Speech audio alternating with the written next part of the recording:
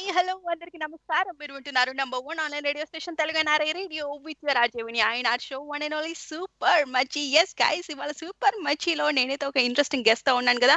ఆ ప్రోమో విన్న తర్వాత మీ అందరికి అర్థమైపోయి ఉంటుంది. నేనైతే ఎవరితో ఉన్నానని. మరి నీలపురి గాజులో నీలవేణి అనే పాటతో మనందరిని పలకరించి అలరించి ఆ తర్వాత పాటల రచయితగా మంచి పేరు తెచ్చుకున్నారు. మోర్ దాన్ టూ ఫిఫ్టీ సాంగ్స్కి పైగా లిరిక్ రా లిరిక్స్ రాశారు. అండ్ రామ్ గోపాల్ వర్మ రౌడీ సినిమాలో ఆరు పాటలు ఆయనే రాసి సింగిల్ కార్డ్ వేయించుకున్న సినిమా ఇండస్ట్రీలో తన పేరు సుస్థిరం చేసుకొని అండ్ ఎంతలా అంటే ఇప్పుడు ఉన్న హీరోస్ కూడా మాకు శ్యామ్ కాసర్ల గారే పాట రాయాలి అని రికమెండ్ చేసుకునే అంతలాగా ఆయన చాలా ఫేమస్ అయిపోయారు. మరి ఆయనే మన లిరిసిస్ట్ శ్యామ్ కాసర్ల గారు. నమస్తే అండి Shyam garu. Welcome to my show. నమస్తే అండి. నమస్తే. అసలు ప్రోమోలో ఎన్ని సాంగ్స్ అన్న యాడ్ చేయాలనుకున్నానండి. అసలు నాకు టైం సరిపోలేదు. అన్ని సూపర్ హిట్ సాంగ్స్ మేవి కంగ్రాచులేషన్స్ అండి ఫస్ట్లీ మీకు. థ్యాంక్ యూ అండి. ముందుగా మీ షో కూడా వన్ ఇయర్ పూర్తి చేసుకున్న సందర్భంగా మీకు కూడా కంగ్రాచులేషన్స్. తెలుగు ఎన్ఆర్ఐ రేడియో ద్వారా వింటున్న నా వాయిస్ వింటున్న శ్రోతలకు పరిచయం చేసిన మీకు ధన్యవాదాలు. వింటున్న శ్రోతలకు కూడా నా నమస్కారాలు అండి thank you thank you Shyam garu. Shyam garu మొన్నే మన సీతారామ శాస్త్రి గారి పుట్టినరోజు జరిగింది. అవునండి. సో ఆయన అంటే ఇండస్ట్రీలో వాళ్ళు శ్యామ్ సీతారామ శాస్త్రి గారు అవ్వచ్చు వేటూరి గారు అవ్వచ్చు పైనీడ్స్ అని చెప్పొచ్చు ఇండస్ట్రీలో. రోల్ మోడల్స్ లాగా అందరికి ఇప్పుడు వచ్చే రైటర్స్ అందరికి కూడా. సో ఆయన పుట్టినరోజు జరిగింది. మరి మీ రీసెంట్గా అలా వైకుంఠపురంలో మీరు ఇద్దరు కలిసి ఆయన ఆయన పాట రాశారు మీరు రాములో రాములో సాంగ్ రాశారు. మరి ఆ ఆడియో రిలీజ్ ఫంక్షన్లో కానీ తర్వాత సక్సెస్ మీట్లో కానీ మీరు అందరూ ఒకే స్టేజ్ పైన కూర్చొని మాట్లాడు మాట్లాడుతుంటే అసలు చూడముచ్చటగా ఉంది. మరి ఆయనతో మీకున్న అనుబంధం గురించి చెప్పండి మొదటగా. థ్యాంక్ యూ అండి. నిజంగా అసలు సీతారామ శాస్త్రి గారిని. కలవడమే ఒక వరంగా భావించే మాలాంటి రచయితలకు అంటే. అప్కమింగ్ అంటే ప్రస్తుతం పేరు సంపాదించుకుంటున్న రచయితలకు ఆ సీతారామ శాస్త్రి గారితో కలిసి ఒక హిట్ సినిమాలో అంతకు మించి హిట్ పాట రాయడం ప్రపంచవ్యాప్తంగా ఆ పాట పేరు పొందడం నాకు నిజంగా ఒక కళలాగే ఉంది ఒక వరంలాగే భావిస్తున్నా. సీతారామ శాస్త్రి గారితో నాకు క్లోజ్ అసోసియేషన్ ఒక సినిమా నుంచి యామిని చంద్రశేఖర్ అని ఒక సినిమా అండి దానికి సీతారామ శాస్త్రి గారి అబ్బాయి యోగి మ్యూజిక్ చేశారు. ఆ సినిమా ఆడియో ఫంక్షన్ అప్పుడు నేను ఊరికే ఆ నిర్మాత నాకు మిత్రుడు దర్శకుడు మిత్రుడు కావడం నేను దానికి వెళ్ళాను. అప్పుడు శాస్త్రి గారు నా పాటల గురించి మాట్లాడుతూ నేను అప్పటికి రాసిన కొన్ని పాటల్ని వివరిస్తూ చాలా బాగున్నాయి నేను అబ్జర్వ్ చేస్తున్నాను నేను నన్ను ఆశీర్వదించడం ఈ. తరం రచయితల్లో నేను కలుసుకోవాలనుకున్న వారిలో నువ్వు కూడా ఒకటి ఉన్నావురా అని తను భుజం తట్టడం ఆ తర్వాత మళ్ళీ కొన్ని సినిమాలకి పనిచేసినా కూడా ప్రత్యక్షంగా కలుసుకునే అవకాశం రాలేదు. ఇప్పుడు అలవైకుంఠపురంలో పనిచేసినప్పుడు. ప్రత్యక్షంగా ఆ, కలుసుకోవడం కొన్ని మీటింగ్స్లో తమన్ గారి దగ్గర తర్వాత. వేదికల మీద కలుసుకోవడం ఆ ఇంటర్వ్యూ కోసం అందరూ రచయితలందరినీ ఇంటర్వ్యూ చేయాలనే ఆలోచన వచ్చి కలుసుకున్నప్పుడు ఆ రోజు మాత్రం బాగా ఆశీర్వదించారు. నా పాట కంటే నా మనవళ్ళు నీ పాట పాడుతుంటే నాకు మీద కోపం కూడా వస్తోందిరా అసూయ కూడా కలుగుతోందిరా అనడం అంతకు మించి నాకు కాంప్లిమెంట్. ఎస్ అండి. అంతకు మించి కాంప్లిమెంట్ ఏది లేదు. ఆ ఆయన ఇంటికి ఆహ్వానించారు. అంటే అందరినీ ఎంటర్టైన్ చేయడం కాదు మనం కూడా ఎంటర్టైన్ అవ్వాలరా. అప్పుడప్పుడు రా వస్తూ ఉండండి ఇంటికి లేదా నేను రమ్మన్నా మీ ఇంటికి వస్తాను అని అంత అసలు మమ్మల్ని ఆ అభినందించి ప్రోత్సహించిన గురువు గారిని జీవితంలో మర్చిపోలేము వారికి నిజంగా ఈ మధ్య వారి మొన్న పుట్టినరోజు కావడం అభినందించడం చాలా ధన్యవాదాలు. అంటే మా- బాగా అదృష్టంగా ఫీల్ అవుతున్నాను. అవునండి అవునండి. అండ్ ఆ ప్రస్తావన వచ్చింది కాబట్టి అలా వైకుంఠపురం? రాములో రాములా సాంగ్ శ్యామ్ గారు. అసలు చిన్న పిల్లల నుంచి ముసలి వాళ్ళ వరకు ఏ పార్టీ అయినా సంగీత్ పార్టీ అయినా బర్త్డే పార్టీ అయినా ఈ పాట మోగాల్సిందే. రాములో అవునండి అవును. రాముల పాట. అండ్ రీసెంట్గా చూస్తే టిక్ టాక్స్లో కూడా అమెరికన్స్ కూడా చేస్తున్నారు ఇదే పాటకి. టిక్ టాక్స్ చేస్తున్నారు. అండ్ డేవిడ్ వార్నర్ కూడా చేశాడు ఈ పాట మీద టిక్ టాక్ అవును అవును. అండ్ ఇది ఎంత ఊపున్న పాట అండి. మరి మీరు ఆ పాట ఒకసారి హమ్ చేయాలి మా అందరి కోసం. యా తప్పకుండా అండి మ్మ్. నేను ఆ ఏదైతే మ్యూజికల్ నైట్ జరిగిందో అలవైకుంఠపురం ఆ రోజు నేను ఒక మాట అన్నా నేను ఇప్పుడు. ఆ, చిన్నపిల్లలు జానే జానే ఎస్ పప్ప మర్చిపోయి రాములో రాములా అంటున్నారు అంటే కొంతమంది నవ్వారు అంటే ఈ మ- అతిగా అన్నాడనో లేకుంటే అతి విశ్వాసం అనో అనుకున్నారు కానీ ఈ రోజు ఆహా. నిజంగా ప్రపంచ వ్యాప్తంగా మీరు అన్నట్టుగా ప్రపంచ వ్యాప్తంగా చిన్న మ్. పిల్లల దగ్గర నుంచి పెద్దవాళ్ళ వరకు ఈ పాట చేరువ కావడం నిజంగా ఆ రోజు నేను ఏదైతే ఆ, చూశానో ఈ ఈ ఇంత వైడ్గా పాపులర్ అవుతుంది అని నేను ఏదైతే ముందే ఊహించానో.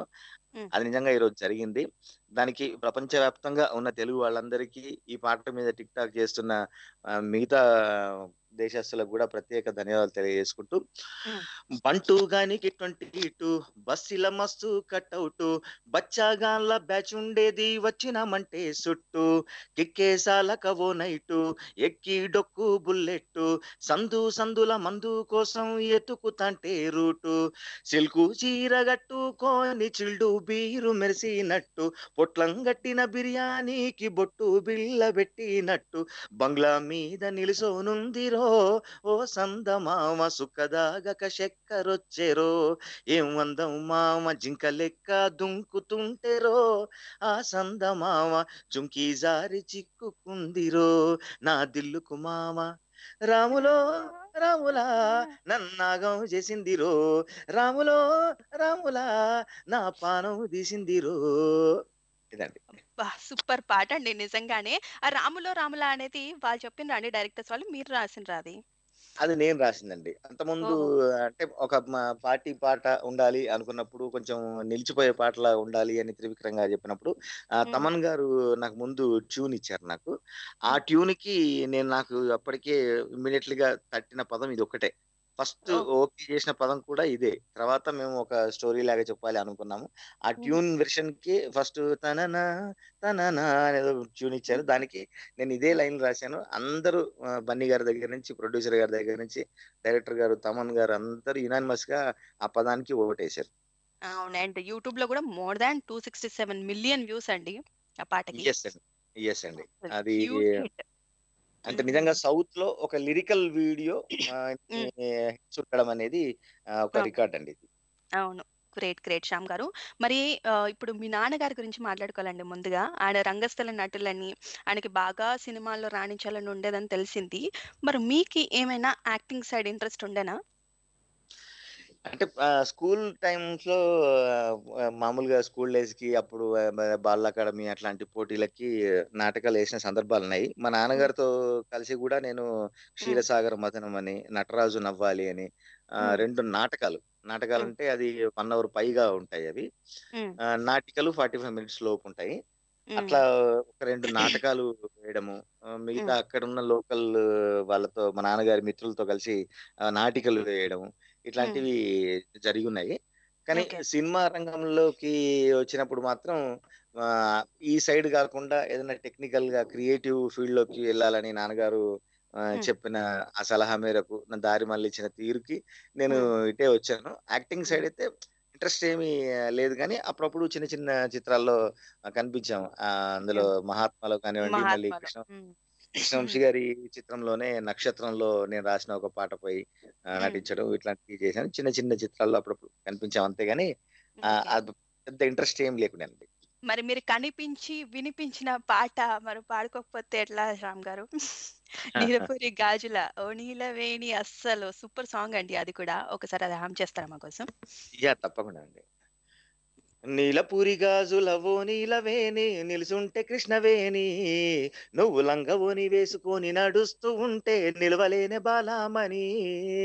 నడుము చూస్తే కందిరిగ నడక చూస్తే హంస నడక నిన్ను చూడలేని బాలిక. నీ కళ్ళు చూసి నీ పనులు చూసి కలిగినమ్మ ఏదో కోరిక. వావ్.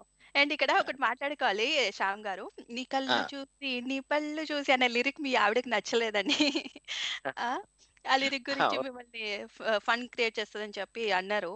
దాని గురించి ఏం. చెప్తారు అవును ఇప్పటికి కూడా అంటూ ఉంటది. మామూలుగా అంటే ప్రేమ పుట్టడానికి ఒక్క క్షణం చాలు ఏదన్నా కావచ్చు అనేది నా ఉద్దేశం. అంటే సరళంగా చిన్నగా చెప్పాలి అని అనేది నా ఉద్దేశంలో అది రాశాను. కానీ ఆ కళ్ళు చూస్తే పళ్ళు చూస్తే ఎక్కడ ప్రేమ పుడుతుంది అని చెప్పి నన్ను ఇప్పటికీ ఆట పట్టిస్తుంటది. Okay okay. Nice nice nice. మరి మీరు ఫోక్ నేపథ్యం నుండి కదండి వచ్చింది మీరు అసలు. ఎంఏ ఎంఫిల్ కూడా చేశారు ఫోక్లో మరి సినిమా పాటలు. సినిమా పాటలు రాయటానికి అండ్ జానపద పాటలు రాయటానికి డిఫరెన్సెస్ ఏమైనా ఉంటాయా? ఉంటాయండి. జానపద పాటలంటే అది యాక్చువల్‌గా జానపదం అనేది ఎవరు రాసింది కాదు. జానపదం అంటే జనంలోంచే వచ్చింది. వాళ్ళు అంటే ప్రతి ప్రతిది ఒక సందర్భం. పాట మనకు మామూలుగా. చెప్తారు. వర్షం వస్తే పాట, వర్షం రాకుంటే పాట, నవ్వుతే. పాట, ఏడిస్తే పాట. అంటే జానపదంలో ప్రతి ఎమోషన్ పాటతోని ముడిపడి ఉంటదండి.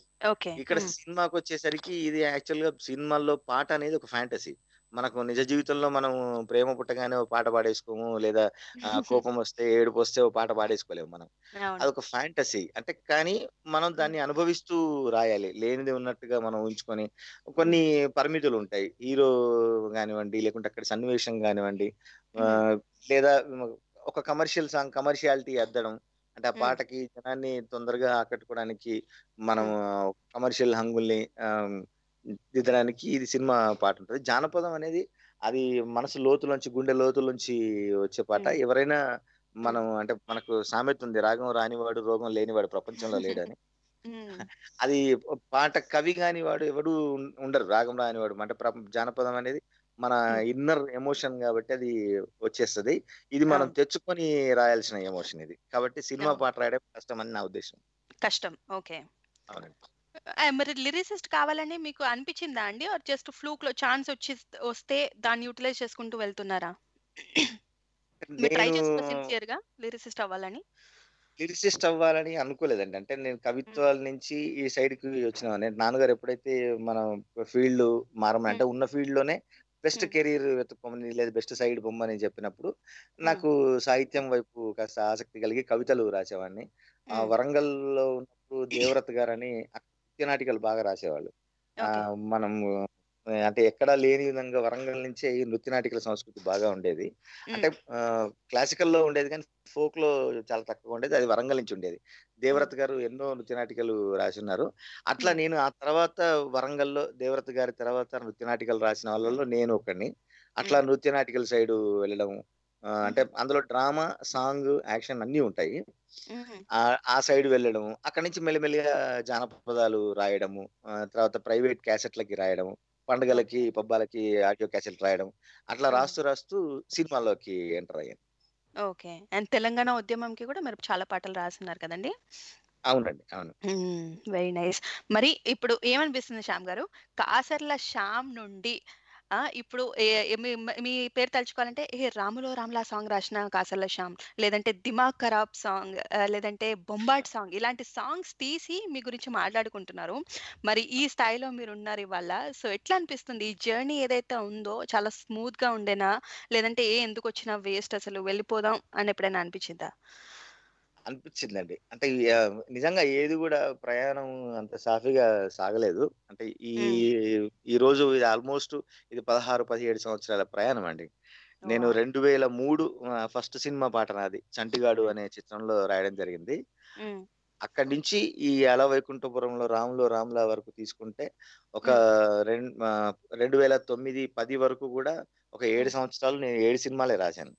ఆ ఓకే. తర్వాత మళ్ళీ 2010 నుండి ఎప్పుడైతే 'మహాత్మా' తర్వాత ఈ రోజుల్లో ఇట్లా హ్మ్. స్టార్ట్ అయిందో అక్కడి నుంచి ఈ జర్నీ స్టార్ట్ అయింది. అంటే నా హ్మ్. సెకండ్ ఫేజ్ ఆహ్, స్టార్ట్ అయిందనుకోవచ్చు. ఆ ఓకే. క్రమంలో నిజంగా నేను ఒక ఒకానొక క్షణంలో హైదరాబాద్ అనేది మనకు ఆహ్, సరికాదు. హ్మ్. సినిమా రంగంలో మనం ఉండలేము. అంటే కొన్ని జరిగిన హ్మ్. ఇన్సిడెంట్స్ వల్ల హ్మ్. ఆహ్, సినిమా రంగంలో ఉండలేము, వెళ్ళిపోదాము అనుకున్న క్రమంలో. మళ్ళీ లేదు అసలు ఏ గోల్ కోసం అయితే వచ్చామో ఇక్కడే మనం ఉండి సాధించాలి అని పట్టుదలతో ఉన్నాము. ఎందుకంటే నాతో పాటుగా వచ్చిన నా ఫ్రెండ్స్ చాలా మంది ఇప్పుడు ఈ రంగంలో లేరు. అందరూ ఎక్కడికక్కడ ఆహ్, హుహు. వెళ్ళిపోయిన వాళ్ళే, వేరే రంగాల్లో సెటిల్ అయిన వాళ్ళే. ఇప్పుడు. వాళ్ళందరూ అంటా ఉంటే నిజంగా నేను అంత ఫైట్ చేశానా? అంత అంత స్ట్రాంగ్‌గా ఉన్నానా అనిపిస్తా ఉంటది. అప్పుడు నాతో పాటు ఎవరైతే మిత్రులొచ్చారో వాళ్ళందరూ "నువ్వు. మా వల్ల కాలేదు. నువ్వు అక్కడ గట్టిగా అట్లా పాతుకొని లేదు చేయాలి, నేను సాధించాలి" అని ఉండి ఈరోజు ఆహ్, నీ పేరు వినిపిస్తుందంటే చాలా సంతోషంగా ఉందని వాళ్ళు అంటుంటే, అవునా. ఇంత జర్నీ సాగిందా అని ఇప్పుడు చూసుకోవాల్సొస్తుంది వెనక్కి తిరిగి. హార్డ్ వర్క్ పేస్ ఆఫ్ అంటారు! సీరియస్‌లీ. ఎగ్జాక్ట్‌లీ. మిమ్మల్ని చూస్తే అనిపిస్తుంది. అండ్ శ్యామ్ గారు మీకు రేడియోతో గూడా అనుబంధం ఉంది. ఆకాశవాణి. ఆల్ ఇండియా రేడియోలో పనిచేశారు కూడా. మరి ఆ ఎక్స్‌పీరియన్స్ గురించి చెప్పండి? నేను తెలుగు యూనివర్సిటీలో ఎంఏ, ఎంఫిల్ ఫోక్ ఆర్ట్స్ చేశానండి. ఆ. క్రమంలో మా సీనియర్స్ కామిని శివ అని మన రంగస్థలం డిపార్ట్మెంట్లో ఎంఏ చేసేవాళ్ళు ఎంఫిల్ కూడా చేసేవాళ్ళు తను ఆ తర్వాత ఇప్పుడు famous dubbing artist RCM Raju garu తను కూడా రేడియోలో మా యూనివర్సిటీ నుంచే వీళ్ళంతా రేడియోలో క్యాజువల్. అనౌన్సర్గా చేసేవాళ్ళు అంటే గుర్తింపు తెచ్చుకోవడం ఒకటి వాళ్ళు రెగ్యులర్గా ఇచ్చే జీతం కోసం కూడా వర్క్. చేసేవాళ్ళు అట్లా నేను ఒక సంవత్సరం ఎంఫిల్ అది సెలెక్ట్ అంటే ఎంట్రన్స్లో పాస్ కాకుండా ఒక సంవత్సరం గ్యాప్ వచ్చినప్పుడు ఆ. టైంలో నేను రేడియోలో ఆకాశవాణిలో క్యాజువల్ కంపేరర్గా చేశాను దానికి మా సీనియర్స్ వేసిన బాటనే అది. అక్కడ నేను టైం మేనేజ్మెంట్ తెలుసుకున్నానండి. అంటే అంతవరకు సరే ఒక ఐదు నిమిషాలు పది నిమిషాలు లేట్గా వెళ్ళినా పర్లేదు. ఒక అన్న చిన్న మెంటాలిటీ ఉండేది ప్రతి ఒక్కరికి ఉంటుంది అది కానీ అక్కడ ఎవ్రీ సెకండ్ కౌంట్స్ అండి. ఒకసారి అయితే నేను ఏదో ఒక మంచి టాపిక్ నడిపిస్తున్నప్పుడు ఇమీడియట్లీ సెంట్రల్ నుంచి లైవ్ ఉంది అని చెప్పి ఆ లాస్ట్ మూమెంట్లో ఇంకా నా మిగిలింటే కూడా దాన్ని అబ్రప్ట్గా కట్ చేసి అక్కడి నుంచి వేయడం జరిగింది. అట్లా ఎవ్రీ సెకండ్ ఎట్లా యూటిలైజ్ చేసుకోవాలి ఆ టైం మేనేజ్మెంట్ అనేది అక్కడ నేర్చుకున్నాను నేను. Okay okay. నైస్ అండి. అండ్ మీరు మోర్ దాన్ టూ ఫిఫ్టీ సాంగ్స్కి పైగా రాశారు కదండి. అండ్. ఇన్ని పాటల్లో అన్ని మీకు మనసుకు నచ్చి రాసిన పాటలా? లేదంటే కొన్ని జేబ్ సాటిస్ఫాక్షన్ కోసం అంటే మనీ సాటిస్ఫాక్షన్ కోసం రాసిన పాటలు ఉన్నాయా? దాని గురించి ఏం చెప్తారు? బికాస్ అన్ని మనకి నచ్చే చేయలేం. కొన్ని కమిట్మెంట్స్ కోసం కూడా చేయాల్సి వస్తది. మీరు కొంతమంది కమిట్ అయి ఉంటారు. సో దాని గురించి లేదండి. ఇప్పుడు నిజంగా ప్రతి పాట మనసు పెట్టి రాసిందే ప్రతి పాట మనసుకు నచ్చి రాసిందే. కొన్ని నాకు నచ్చని పాటలు నేను చెప్పి వదులుకున్న సందర్భాలు కూడా ఉన్నాయి. అంటే హార్డ్ సిచ్యువేషన్లకి అసలు పాట ఈ పాట మనం. ఇట్లాంటి పాటలు రాయొద్దు అని పెట్టుకున్న సందర్భంలో కొన్ని కూడా నేను రాయను అని రిజెక్ట్ చేసిన పాటలు కూడా ఉన్నాయి. అంటే. కెరీర్ కెరీర్ స్టార్టింగ్లో ఇప్పుడు ఎవరు అట్లాంటి పాటలు అడగట్లేదు. మామూలుగా రాసిన. ప్రతి పాటలో మనకంటూ ఒక గుర్తింపు ఉండాలి మన మార్క్ కనిపించాలి అని అన్ని. నచ్చి రాసుకున్న పాటలేనండి. ఓకే. వెరీ నైస్ అండి. మరి ఇప్పుడు మీ ఫ్యామిలీ గురించి చెప్పండి శ్యామ్ గారు. ఇంకొక ఇంట్రెస్టింగ్ విషయం ఏంటంటే రాధిక గారు మీరు ఫస్ట్ క్లాస్ నుంచి టెన్త్ క్లాస్ వరకు క్లాస్మేట్స్ అని. అవునండి అవును. సో క్లాస్మేట్స్ అయింది పెళ్ళి చేసుకున్నారే అండ్ మీకు ఇద్దరు పిల్లలు. వాళ్ళ గురించి చెప్పండి ఫ్యామిలీ గురించి. యా రాధిక నేను ఇద్దరం ఫస్ట్ టు టెన్త్ క్లాస్మేట్స్ అండి. ఆ, హన్మకొండలో మేము ప్రగతి హై స్కూల్లో చదువుకున్నాం తెలుగు మీడియము. ఆ తర్వాత ఇద్దరం అనుకొని అంటే మా మా రంగాల్లో మేము ముందుకు వెళ్ళగలుగుతాము అని మాకు ఒక ధైర్యం వచ్చిన తర్వాతనే మెచ్యూర్డ్గా ఆలోచించే ఇంట్లో వాళ్ళని ఒప్పించి చేసుకున్నాము. మా పెద్దవాడు Sai Anirudh. Intermediate second year complete చేశాడు. చిన్నవాడు లిఖిత్ సాయిరామ్ వాడు ఇప్పుడే సెకండ్ క్లాస్ చదువుతున్నాడు. ఓకే వెరీ నైస్ మీ రాధిక గారు ఏం చేస్తారండి? రాధిక ఆర్కిటెక్ట్ అండి. తను architect as well as vastu expert తను ఆహా. ఇక్కడ జేఎన్టీ నుంచి బీఆర్ చేసింది. ఇక్కడ హైదరాబాద్లో మున్సిపల్ ప్యానల్ ఇంజనీర్ కూడా తను. అంటే. లైసెన్స్డ్ ఆర్కిటెక్ట్ ఆహా. తను తన రంగంలో కాంట్రాక్ట్స్ కూడా చేసుకుంటూ ఉంటుంది. అందుకే నేను ఎక్కడో పోస్ట్ చేస్తూ రాశా. ఇటుక ఇటుక పేర్చి తాను పదం. పదం కూర్చి నేను నడిపిస్తున్న మా ప్రయాణాన్ని వావ్! వెరీ నైస్ అండి. అండ్ వాస్తు స్పెషలిస్ట్ అన్నారు. మరి పెళ్ళైన తర్వాత మీ వాస్తు మారిందా? ఖచ్చితంగా మారింది. ఖచ్చితంగా మారింది. నా నేను మనీ మేనేజ్మెంట్లో చాలా పూర్ అండి. అంటే నాకు ప్లానింగ్ అనేది తన దగ్గర ఉంది. నా దగ్గర లేదు. నేను ఇష్టానికి అంటే నా మనసుకు నచ్చినట్టుగా నా మనసుకు తోచినట్టుగా నేను బ్రతికేవాడిని. ప్లానింగ్ అనేది తను ఎప్పుడైతే నా దగ్గరకు వచ్చిందో అక్కడి నుంచే స్టార్ట్ అయింది. ఇప్పటికీ తనే డిజైన్ చేస్తుంది అన్ని ఓకే. నైస్. అండ్ పిల్లల గురించి చెప్పుకుంటే అండి మీ పెద్దవాడు మంగ్లీతో కలిసి కరోనా పాట పాడిన చూసినాం చిన్నవాడు చిన్నవాడు? ఓకే. చిన్నవాడు. సో ఇప్పటి నుంచి ట్రైన్ చేస్తున్నారా అండి వాళ్ళని కూడా పాటలకి దానికి? అది ఇంట్రెస్ట్ అంటే మా పెద్దవాడు కీబోర్డ్ ప్లే చేస్తాడు. అది తనకి ఓన్గా అంటే అప్పుడు నేర్పించి మరి ట్రైన్ చేసాము అది తర్వాత తర్వాత ఇంట్రెస్ట్ వచ్చి తనే ఇప్పుడు అన్ని చేస్తాడు. ఈ చిన్నవాడికి అది ఇంట్రెస్ట్ ఉంది కాబట్టి వాడే ఆ రంగంలోకి వచ్చాడు. కీబోర్డ్ ట్రై చేస్తే కీబోర్డ్ కాదని ఒకళ్ళు నేర్చుకుంటాను. అట్లా. నేర్చుకున్నాడు. అట్లా వచ్చింది. వాడు పాడుతాడండి నైస్ అండి వెరీ నైస్ వాళ్ళకు కూడా ఇంట్రెస్ట్ ఉంది which is very good and Radhika గారి సపోర్ట్ ఎట్లా ఉంటుందండి మీరు ఇప్పుడు టూ బిజీ అయి ఉంటారు కదా అవునండి అవును ఇప్పుడు ఇద్దరం మేము ఇండివిజువల్ రంగాలే ఇద్దరి. ఇండివిజువల్ జాబ్సే కాబట్టి. తను నాకంటే ఎక్కువగా కష్టపడ్డ బర్డెన్ తీసుకుంటే ఇప్పుడు నా తన దాంతో పాటు నాది గూడా తను మోయాల్సి వస్తది.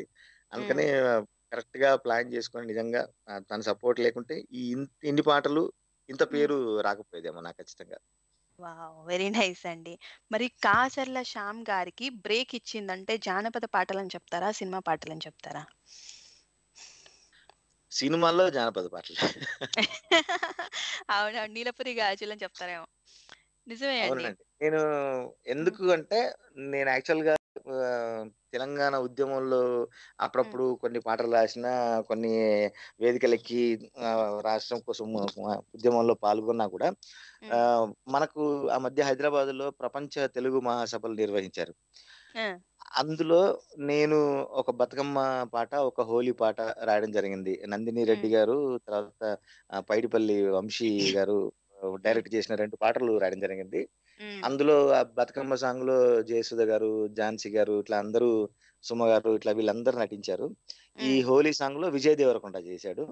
ఓకే. అప్పటి వరకు ఈ జా తెలంగాణ ఉద్యమంలో పనిచేసిన కవులందరికీ, కళాకారులందరికీ హ్మ్. నేను ఇంకా అంటే సినిమాల్లో అప్పుడప్పుడే వస్తున్నాడు అని తెలుసు హ్మ్. ఏకంగా ప్రపంచ తెలుగు మహాసభల్లో నేను రాసిన 2 పాటలు రావడం! వాళ్ళందరూ షాక్ అయితే నేను జెప్పాను. నేను నాకు నిజంగా తెలంగాణ ఉద్యమం నాకు సినిమా అవకాశాలు తెప్పించలేదు. కానీ నేను. నమ్ముకున్న సినిమా నాకు తెలంగాణ గురించి జనాలకి ఇంకా. ప్రపంచవ్యాప్తంగా చేరవేసే అవకాశాన్ని కలిగించింది నాకు అని! చెప్తానండి నేను. గ్రేట్ అండి. అండ్ ఆ ఫోక్ టచ్ ఉంటదండి మీ సాంగ్స్‌లో. ఇప్పుడు 'రాములో రాములా' సాంగ్ తీసుకున్నా కూడా.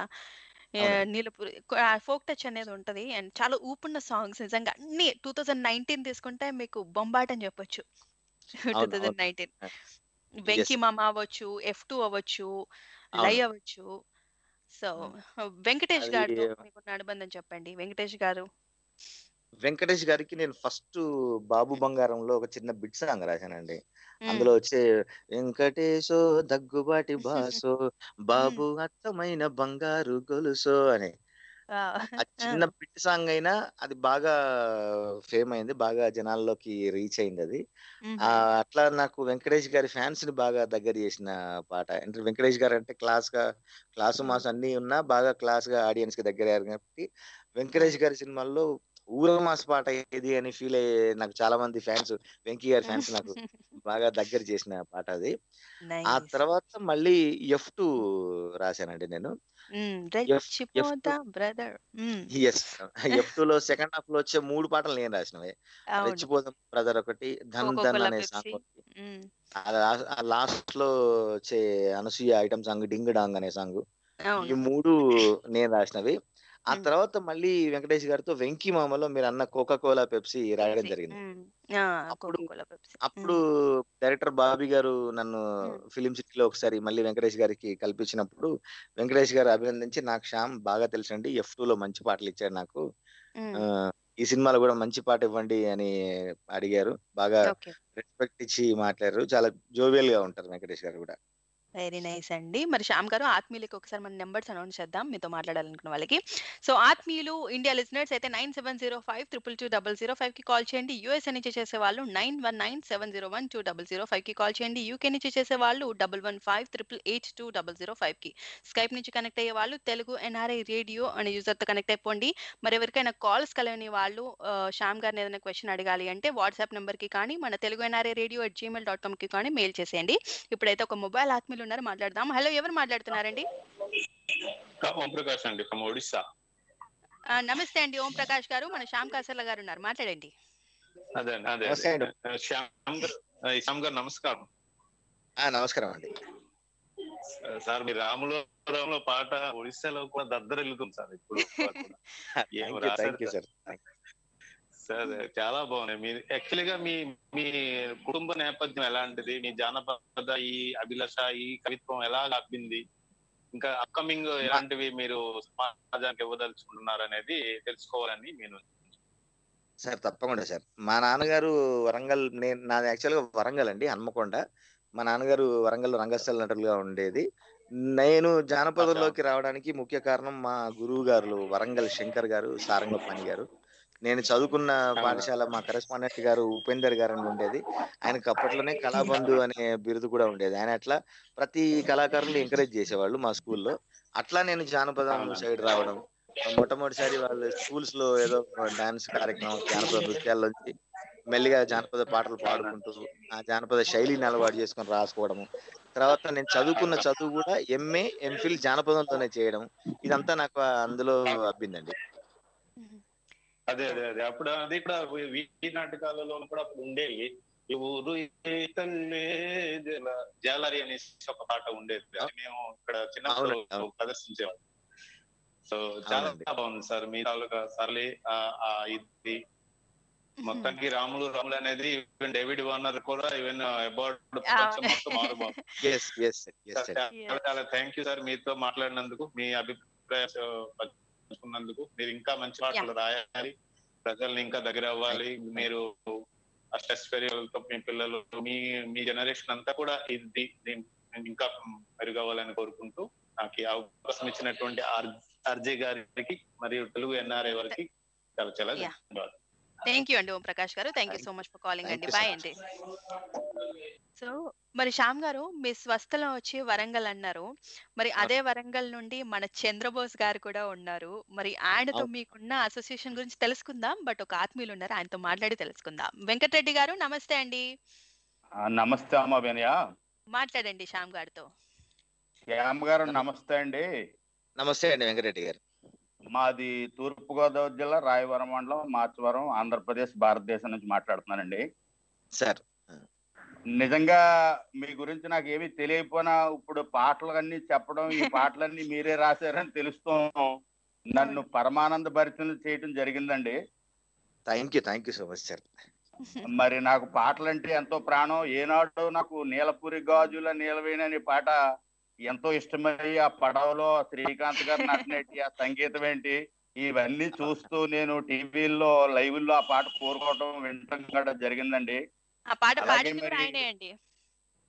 అలాగండి. అయితే మరీ మరీ సంతోషంగా ఉందండి. ఆ విషయం కూడా నాకు తెలియదు నా నా సంగతి ఏంటంటే పాటలు చూడటం ఆనందించేయటం అబ్బా భలే రచించారు ఈ పాట భలే సంగీతం అని ఆ, మనసులో ఆనందిస్తాం జరుగుద్ది అనమాట అండి ఎక్కువ.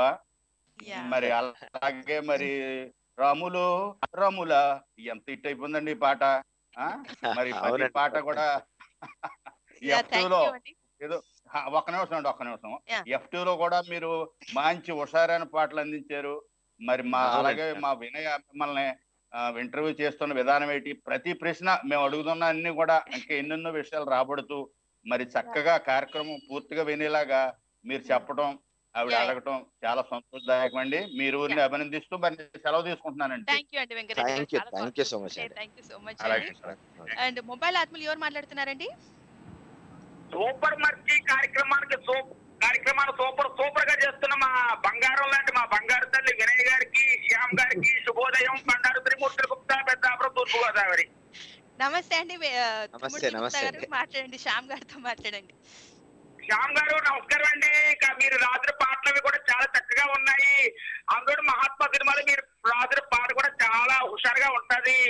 మీ గురువు గారు మా గురువు గారు అనగా మన గురువు గారు అటువంటి చెంబోడు సీతారామ శాస్త్రి గారు పుట్టినరోజు ఇటీవల ఇరవయో తారీఖు జరుపుకున్న బిలేటెడ్గా వారికి పుట్టినరోజు శుభాకాంక్షలు తెలియపరుస్తూ మీకు శుభాభినందనలు తెలియపరుస్తూ చక్కగా షో నిర్వహిస్తున్న మా బంగారు తల్లి వినయ్ గారి శుభాభినందనలతో నేను ఇప్పుడు మిమ్మల్ని కూర్చొని అడుగుదాం అనుకుంటున్నాను.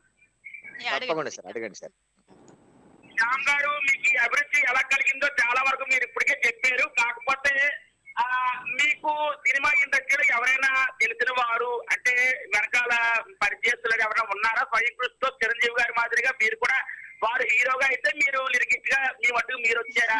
అదొకటి చెప్పండి. తర్వాత మీకు గురువు గారు నాకు గురువు గారు సీతారామ శాస్త్రి గారికి గురువు గారు అటువంటి వేటూరు సుందరరామూర్తి గారు వర్తండి వేళ మాకు దూరమైన రోజు అండి వేటూరు. సుందరరామూర్తి గారు మంచి మంచి మాట గుర్తు చేశారండి. ఈ రోజు వేటూరు గారి వర్ధంతి నిజంగా నేను. మాటల్లో ఆ విషయం చెప్దామని అనుకున్నాను. మీరు గుర్తు చేశారండి గుప్తా గారు మీకు మాట చెప్పాలి. కారణం ఏంటంటే ఎస్పి బాలసుబ్రహ్మణ్యం గారు అంటారండి. ఆ సుందరరాముడికి ఈ సీతారాముడు ఏం తక్కువ కాదు. చక్కగా రాస్తాడు. నా తమ్ముడు నా సీతారామ శాస్త్రి నా తమ్ముడు అని ఎస్పి బాలసుబ్రహ్మణ్యం గారు ఎన్నో సార్లు అంటారు.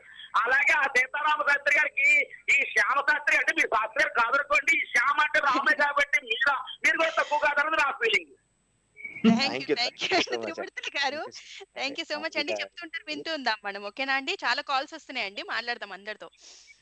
మీకు అవకాశం ఉంటే మాత్రం సాంగ్ అడుగుతాను ఆ సాంగ్ వేయండి బ్రేక్లో మీకు అవకాశం ఉంటే. యా తప్పకుండా. ఆయనతో పాడించుకుందామండి ఆయన ఉన్నాక మనకు బ్రేక్ ఎందుకు? కాదమ్మా. ఎందుకంటే మిత్రుడి గారి కోసం ఆయన మీద అభిమానంతో అడుగుతున్నాను. అల్లుడా మజాక. ఈ సినిమాలో ఎస్పి బాలసుబ్రహ్మణ్యం బృందం పాడిన పాట. గీతడి వేట సుందరామూర్తి గారు సంగీత కోటి. మా ఊరి దేవుడు అందాల రాముడు మా తల్లి సీతమ్మకు శ్రీరాముడు దేవుడు. ఆ పాట అవకాశం ఉంటే వెయ్యండి మీరు అందరూ రాముడి వారితో సమానం మీరు నాకు.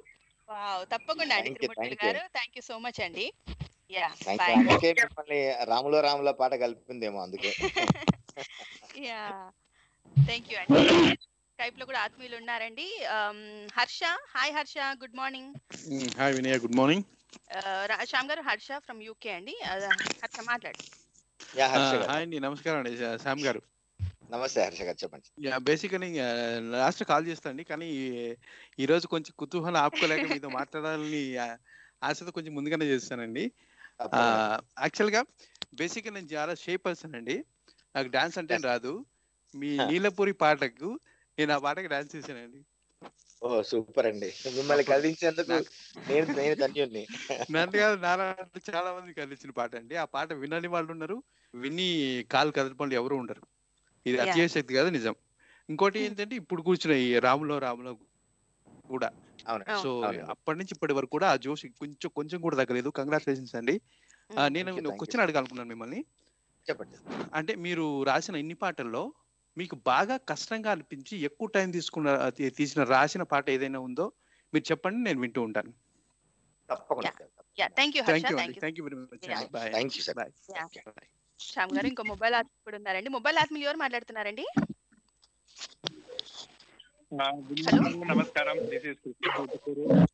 ఎవరు మాట్లాడుతున్నారండి? నేను కృష్ణ ఊటుకూరు అండి. శ్యామన్న బాగున్నారా? నేను కృష్ణమోహన్. ఓ, ఓ కృష్ణ గారు.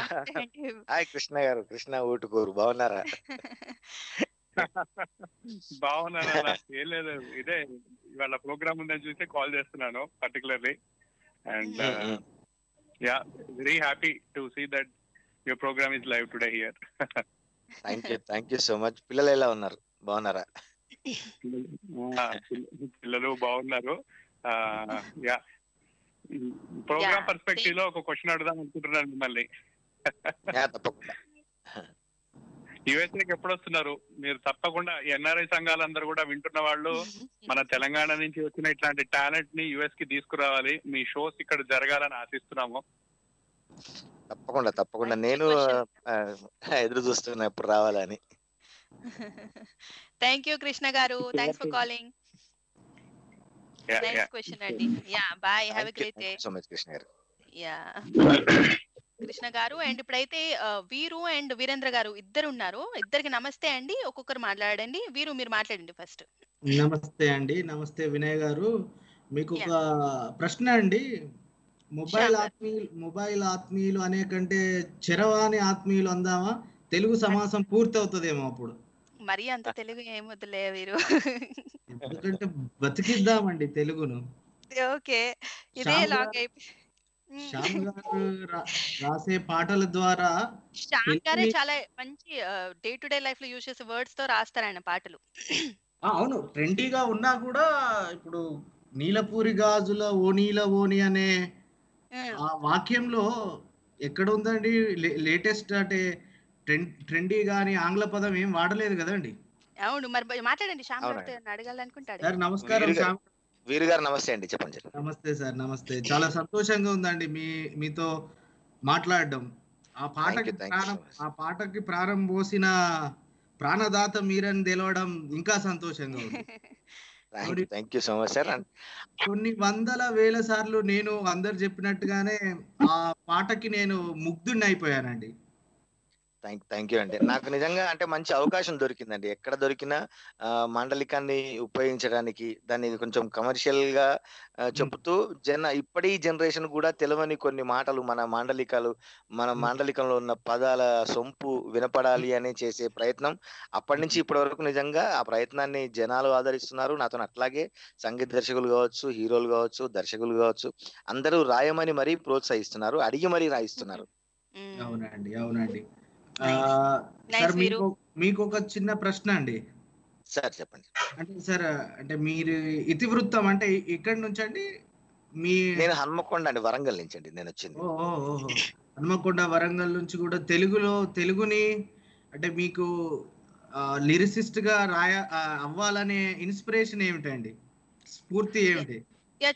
చెప్పిన వీరు ఇందాకే ఆ, స్టార్టింగ్లోనే అడుగుదాం. ఇంకా కాలర్స్ ఉన్నారు కదా వాళ్ళకు కూడా అవకాశం ఇద్దాం. థ్యాంక్ యూ థ్యాంక్ యూ వీరు వినయ్ గారు. Thank you Shyam garu. Yeah thank you and Virendra garu నమస్తే అండి. మాట్లాడండి మన శ్యామ్ గారితో. నమస్తే మేడం గారు నమస్తే. మేడం గారు మీకు ఒక వసంతం పూర్తి చేసుకుని మరో వసంతంలో అడిగెట్టినందుకు మీకు శుభాభివందనాలు. థ్యాంక్ యూ అండి. ఎప్పుడు అయిపోయిందండి చాలా రోజులు అయింది థ్యాంక్ యూ సో మచ్ అండి. అయితే. శ్యామ్ గారు శ్యామ్ గారు నమస్తే, నమస్తే అండి. నమస్తే అండి వీరేంద్ర గారు. చెప్పండి సార్ మీరు కవి అంటే మాకు పొలంతో సమానం. మీరు ఏ విత్తనం వేస్తే ఆ మొక్కే మొలుస్తుంది. మీరు ఏ పదం పట్టుకున్నా దాన్ని మీ కలంతో హలంలా దిన్ దున్ని చక్కగా ఏదైనా మీరు పండించగలరు. అది కేవలం కనబడకుండా వినిపించేటువంటి కవులకే సాధ్యం అది. అది మీకు మరింత అనుగ్రహం దక్కింది. అందుకు మీకు మరోసారి శుభాభివందనాలు. మీరు ఇంకా. మరిన్ని ఏంటంటే మరిన్ని తెలుగు వాడుక పదాలతో అందంగా తక్కువ పదాలతో ఎక్కువ అర్థాన్ని ఇచ్చేట్టుగా రాస్తున్నారు కాబట్టి అందరి హృదయాల్ని అది తాకుతుంది. నాకు చిన్న చిన్న ఎక్స్పీరియన్స్ కాబట్టి నేను ఈ పాటలు అవి విన్న తర్వాత మీకు ఫోన్ చేయాలని స్టార్టింగ్ నుంచి అలా కుతూహలంతో ఉండి ఉండి ఉండి చేసి లైన్ కలిసి సంతోషం. Okay okay. Thank you so much అండి మంచి మాట చెప్పారండి. అందశ్రీ గారు నన్ను నన్ను బాగా ఇన్స్పైర్ చేసిన కవుల్లో ఒకరైన అందశ్రీ గారు అంటారు నన్ను మట్టిలో విసిరేసినా నేను విత్తనాన్ని మొలకెత్తుతా అంటారు ఆయన. నిజంగా. మీరు కవిని కవిని పొలంతో పోల్చడం నిజంగా మంచి ప్రయోగం అండి. మంచి ఎక్స్ప్రెషన్. మంచి ఏం లేదు సార్. నుండి చిన్నప్పటి నుండి నాకు చిన్న చిన్న రాయడం అలవాటు వల్ల ఆ సువాసనలు మీ మీద ఇలా చిన్న స్ప్రే కొట్టాను అంతే అంతకుమించి ఇంకా. థ్యాంక్ యూ అండి. సో మచ్ అండి వీరేంద్ర గారు కాల్ చేసినందుకు. you. ధన్యవాదాలండి. బాయ్ అండి. ఆ, ఇప్పుడైతే లవరాజా గారు ఉన్నారండి. వైజాగ్ నుంచి. హాయ్ లవరాజా గుడ్ మార్నింగ్ మాట్లాడండి. హాయ్ బంగారం గుడ్ మార్నింగ్. నమస్తే sir Shyam garu good morning అండి. నమస్తే అండి గుడ్ మార్నింగ్ సార్ చెప్పండి. వైజాగ్ నుంచి చేస్తున్నానండి. నా పేరు లావరాజ్ అండి. సార్ చెప్పండి సార్. అంటే మనకి ఎన్నో రుచులు ఉంటాయండి కానీ ఒక రుచి అనేది మనకి చాలా ఇష్టపడుతుంటది. ఆ రుచిని ఎక్కువ తినడానికి కూడా మనం ఇంట్రెస్ట్ చూపెడుతుంటాం. ఇంట్రెస్ట్ చూపిస్తాం. అవునండి. అలాంటిది ఏంటంటే ఆ రుచుల్లో మీరు పండించే పంటలు ఉన్నాయండి. కొన్ని రుచులు మీరు మాకు అందించారు. మంచి మంచి పాటల రూపంలో. ఎందుకంటే మీలాంటి కవుల వల్లే మాకు కొంత ఇన్స్పిరేషన్ జరుగుతూ ఉంటదండి. యా థ్యాంక్ యూ అండి మన శ్రోతలు ఎందుకంటే శ్రోతలు విన్నిది తొందరగా మర్చిపోలేరండి. అవును. ఉమ్, దానివల్ల ఏంటంటే మీలాంటి మంచి కళాకారులు కానీ రచయితలు కానీ ఉమ్. మాకు అప్పుడప్పుడు అలా గుర్తుగా వస్తూ ఉంటారు అన్నమాట తప్పకుండా అండి. మనకు నిజంగా మనస్సులు కలిసినట్టు అసలు ఉత్తరాంధ్ర కానివ్వండి ఉత్తర తెలంగాణ కానివ్వండి అందుకే రెస్పాన్స్ కూడా అక్కడి నుంచే ఉంది చూడండి. అది మన తొందరగా కనెక్ట్ అయ్యే అది ఉంది. అందుకని అప్పుడు ఉమ్మడి ఆంధ్రప్రదేశ్ ఉన్నప్పుడు కూడా ఏపీ థర్టీ సిక్స్ వరంగల్ ఉండేది థర్టీ ఫైవ్ వైజాగ్ ఉండేదండి. పక్క- పక్క పక్కనే ఉన్నాము. మనకు మనసులు కూడా అంత తొందరగా కలుస్తాయి. యా థ్యాంక్ యూ అండి Lavaraja. Thank you so much అండి. థ్యాంక్ యూ అండి. బాయ్ అండి. బాయ్ ఇప్పుడైతే మా శ్యామ్ గారు ఇంకో మొబైల్ ఆత్మీయులు ఉన్నారు మొబైల్ కాలర్ ఎవరు మాట్లాడుతున్నారండి? నమస్తే Vinay garu good morning. Hey Anuradha good morning. Good morning. Shyam garu ఉన్నారు. morning. మాట్లాడు. నమస్తే శ్యామ్ గారు. గుడ్ మార్నింగ్ మీకు కూడా. నమస్తే అండి. గుడ్ మార్నింగ్ అండి. How are you how are ya you fine అండి. మీరు ఎలా ఉన్నారు. ఓకే సార్ మీ సాంగ్స్ చాలా ఉంటాయి సార్ ఇదేంటి ఫేమస్ సాంగ్ మహాత్మాలో. నీలపూరి గాజులో నీలవేణి నిల్చుంటే కృష్ణవేణి అనే సాంగ్ అసలు అప్పట్లో అయితే చాలా ఫేమస్ అయిపోయింది సార్ అసలు. ఇప్పుడు ప్రజెంట్గా అలా వైకుంఠపురంలో ఈ సాంగ్ రాములో రాములో చిన్న పిల్లలకంటే డాన్స్ చేస్తారు సార్ సాంగ్ వస్తే. యా అవును. సూపర్. రెండు చాలా అదిరిపోయే సాంగ్స్ అసలు. మీరు ఇలాంటి సాంగ్స్ ఇంకా మంచిగా ఇంకా చాలా సాంగ్స్ రాయాలని నేను మనస్ఫూర్తిగా కోరుకుంటున్నాను సార్. మాకైతే ఇలాంటి మంచి సింగర్స్తో మాకు మాట్లాడడానికి ఛాన్స్ దొరుకుతుందంటే మా ఎన్ఆర్ఐ రేడియో స్టేషన్ క్రెడిట్ ఇదంతా అలాగే మా ఎన్ఆర్ఐ రేడియో స్టేషన్కి వచ్చినందుకు ఎస్పెషల్లీ మీకు ధన్యవాదాలు సార్. మా వినయ్ గారు కూడా అనురాధ మా వి- మా వినయ్ గారు కూడా వినయంగా అసలు మంచిగా interview తీసుకుంటుంటారు. Thank you thank you Anuradha. Thank you so much call మీరు- చేసినందుకు సార్ మీరు ఇన్ని సాంగ్స్ రాశారు కదా మీకు ఇష్టమైన సాంగ్ ఏంటి సార్? ఏదో ఒక సాంగ్ ఉంటది కదా సార్ ఫేవరెట్ సాంగ్ చాలా అంటే ఇప్పుడు నన్ను అన్ని అన్ని పాటలు ఇష్టమేనండి. కానీ ఇప్పుడు ప్రపంచ వ్యాప్తంగా నన్ను పరిచయం చేసిన ఈ పాట అంటే కొంచెం ఎక్కువ ఇష్టం. రాములో రాముల. Okay okay. నేను కూడా అనుకున్నాను సార్ సార్ ఇదే సాంగ్ చెప్తారు అనుకున్నాను నా గెస్టింగ్ కరెక్ట్ అయింది. Okay? Yeah thank you thank you Anuradha thanks for thanks for calling bye sir thank you Shyam garu నన్ను అడిగే ఛాన్స్ ఇవ్వట్లేదు అసలు ఎవరు. నిజంగా పది సంవత్సరాలు అవుతుందండి నీలపురి గాజులు పాట వచ్చి. పది. సంవత్సరాలు ఒక దశాబ్దం ఇంకా పెట్టుకొని మనం ఇంకా గుండెలో. దాచుకున్నారంటే చాలా అదృష్టవంతుంది మ్మ్. ఇప్పుడు ఈ పాట పది సంవత్సరాల తర్వాత మళ్ళీ నన్ను ఇంకొక మెట్టెక్కించింది. అంటే నిజమే. ఇప్పుడు ఓకే మనం అందరికి ప్రపంచవ్యాప్తంగా పరిచయమైన ఈ పాట అంటే ఒక ఎక్కువ అభిమానం ఉండొచ్చు కానీ మొట్టమొదటి పాట ఏదైతే మెట్టు నేను ఎక్కిన నన్ను ఎక్కించిన పాట. ఈ ఈ స్థాయి ఏదైతే ఒక స్థాయి ఈరోజు అనుకుంటున్నానో ఆ- వచ్చిన ప్రతి అక్షరం అంటే మొట్టమొదటి నా కలం నుంచి జాలువారిన ప్రతి అక్షరం అంటే కూడా నాకు ఇష్టమే. నిజంగా అడిగినట్టుగా నాకు సినిమా రంగంలో ఎవరు లేరండి వెనక. నాన్నగారు నటించి ఆయన తన కెరీర్ని మా కోసమని వదులుకొని బ్యాక్ వచ్చారు చెన్నై నుంచి. తర్వాత సినిమా రంగంలో పరిచయస్తులు తప్ప బ్యాక్ బోన్గా నిలిచిన వాళ్ళు ఎవరు లేరు. నాకు ఈ- రోజు అందరూ ఆత్మీయులు అయ్యి అందరూ ఆదరిస్తున్నారు అంటే నిజంగా ఆ పాట వరంగల్ నా జిల్లా అక్కడ నాకు అందించిన సాహిత్యం కావచ్చు అక్కడ నాకు నేర్పిన ప్రతి గురువులు కావచ్చు అక్కడి నుంచి నన్ను అభినందించి పంపించిన ప్రేక్షకులు కావచ్చు అందరికీ నిజంగా నేను ఈ రోజు రుణపడి ఉన్నాను.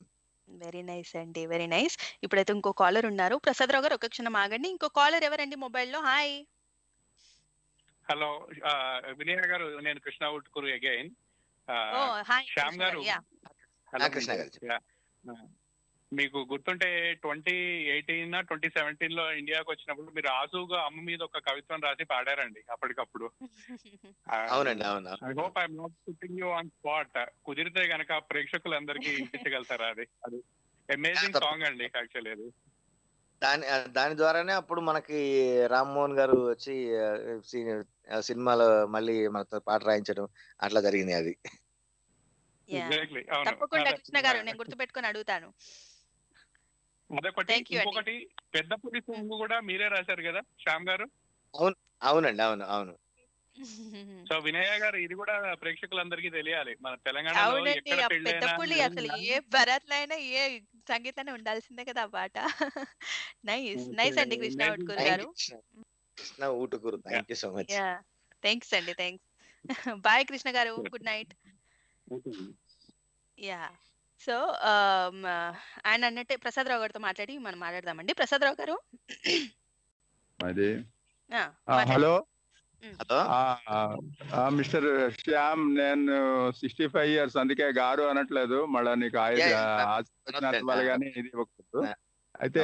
యాక్చువల్గా నాకు జానపదాల్లో నాకు తెలియదు కానీ అంతగా అంటే నేను చదువుకున్న వాడినే కానీ జానపదాలకి ఎందుకు నేను ఇంటర్ నాకు ఇంట్రెస్ట్ ఉంది అనేది నాకే తెలియదు.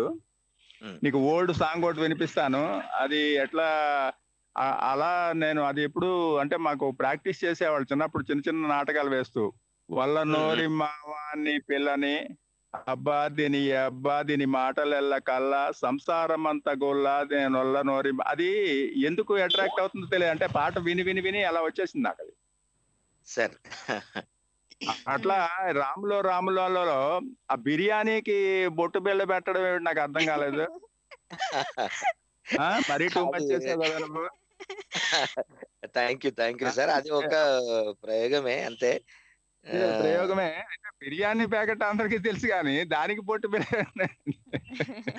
అంటే నా ఉద్దేశంలో తీర్చిదిద్దినట్టుగా ఫుల్ స్టఫ్డ్గా అని మాలాంటి వాళ్ళకి నువ్వు ఏదో తెప్పిస్తున్నావు మళ్ళా ఆ బిర్యానీ ఇష్టం ఉన్నా లేకపోయినా ఒకసారి తినాలను. అదేంటి ఆయన స్పెషాలిటీ ప్రసాదరావు గారు. ఆ, అదే అదే అది అది ఒక స్పార్క్ అబ్బా. నీకు చాలా అది భగవంతుడిచ్చిన వరం అది. Thank you sir thank you. Experiment నువ్వు చేస్తూనే ఉంటావు I think bright future thank you అండి థ్యాంక్ యూ సో మచ్ అండి నా పేరు ప్రసాద్ రావు నేను మియాపూర్ నుంచి మాట్లాడుతున్నాను ఓకేనా sir thank you so much sir thank you అయితే ఇంకోటి చెప్పడం మర్చిపోయాను నేను చాలా ఓపికగా ట్రై చేశాను ఈ కాల్ గురించి తెలుసా అవునా థ్యాంక్ యూ అండి థ్యాంక్ యూ అండి కనీసం ఒక ఇరవై ముప్పై ట్రయల్స్ వేసా ఇంకా ఆపేద్దాం అనుకున్నాను బట్ స్టిల్ ఫాలోయింగ్ అలాంటిది. Thank you sir thank you so much ఆయనతో నాకు మాట్లాడాలి అనేది రాసి పెట్టి ఉంది కాబట్టి మాట్లాడగలిగాను. థ్యాంక్ యూ సార్ మీ మీ అభినందనలు మీ ఆశీర్వాదం నాకు దొరకాలని ఉంది కాబట్టి మీకు కాల్ కలిసింది. థ్యాంక్ యూ సో మచ్ అండి. Thank you. Prasadarao garu. Thank you so much అండి. ఓపిక్గా కాల్ చేసి మాట్లాడుతున్నందుకు. మరి శ్యామ్ గారు ఇందాక మనం మాట్లాడుకున్నట్టు మీ స్వస్థలం వరంగల్ నుండే మన చంద్రబోస్ గారు కూడా అవునండి. ఆయన పాటలు కూడా చాలా సింపుల్ వర్డింగ్స్తో చాలా అందంగా రాస్తారండి ఆయన పాటలు. సో అక్కడి ఆయన నుంచేనండి ఈ స్ఫూర్తి ఆ, ఈ స్ఫూర్తి పొందింది అక్కడి నుంచే. ఆ, అంటే పాట అనేది సామాన్యులకి చేరవేసింది.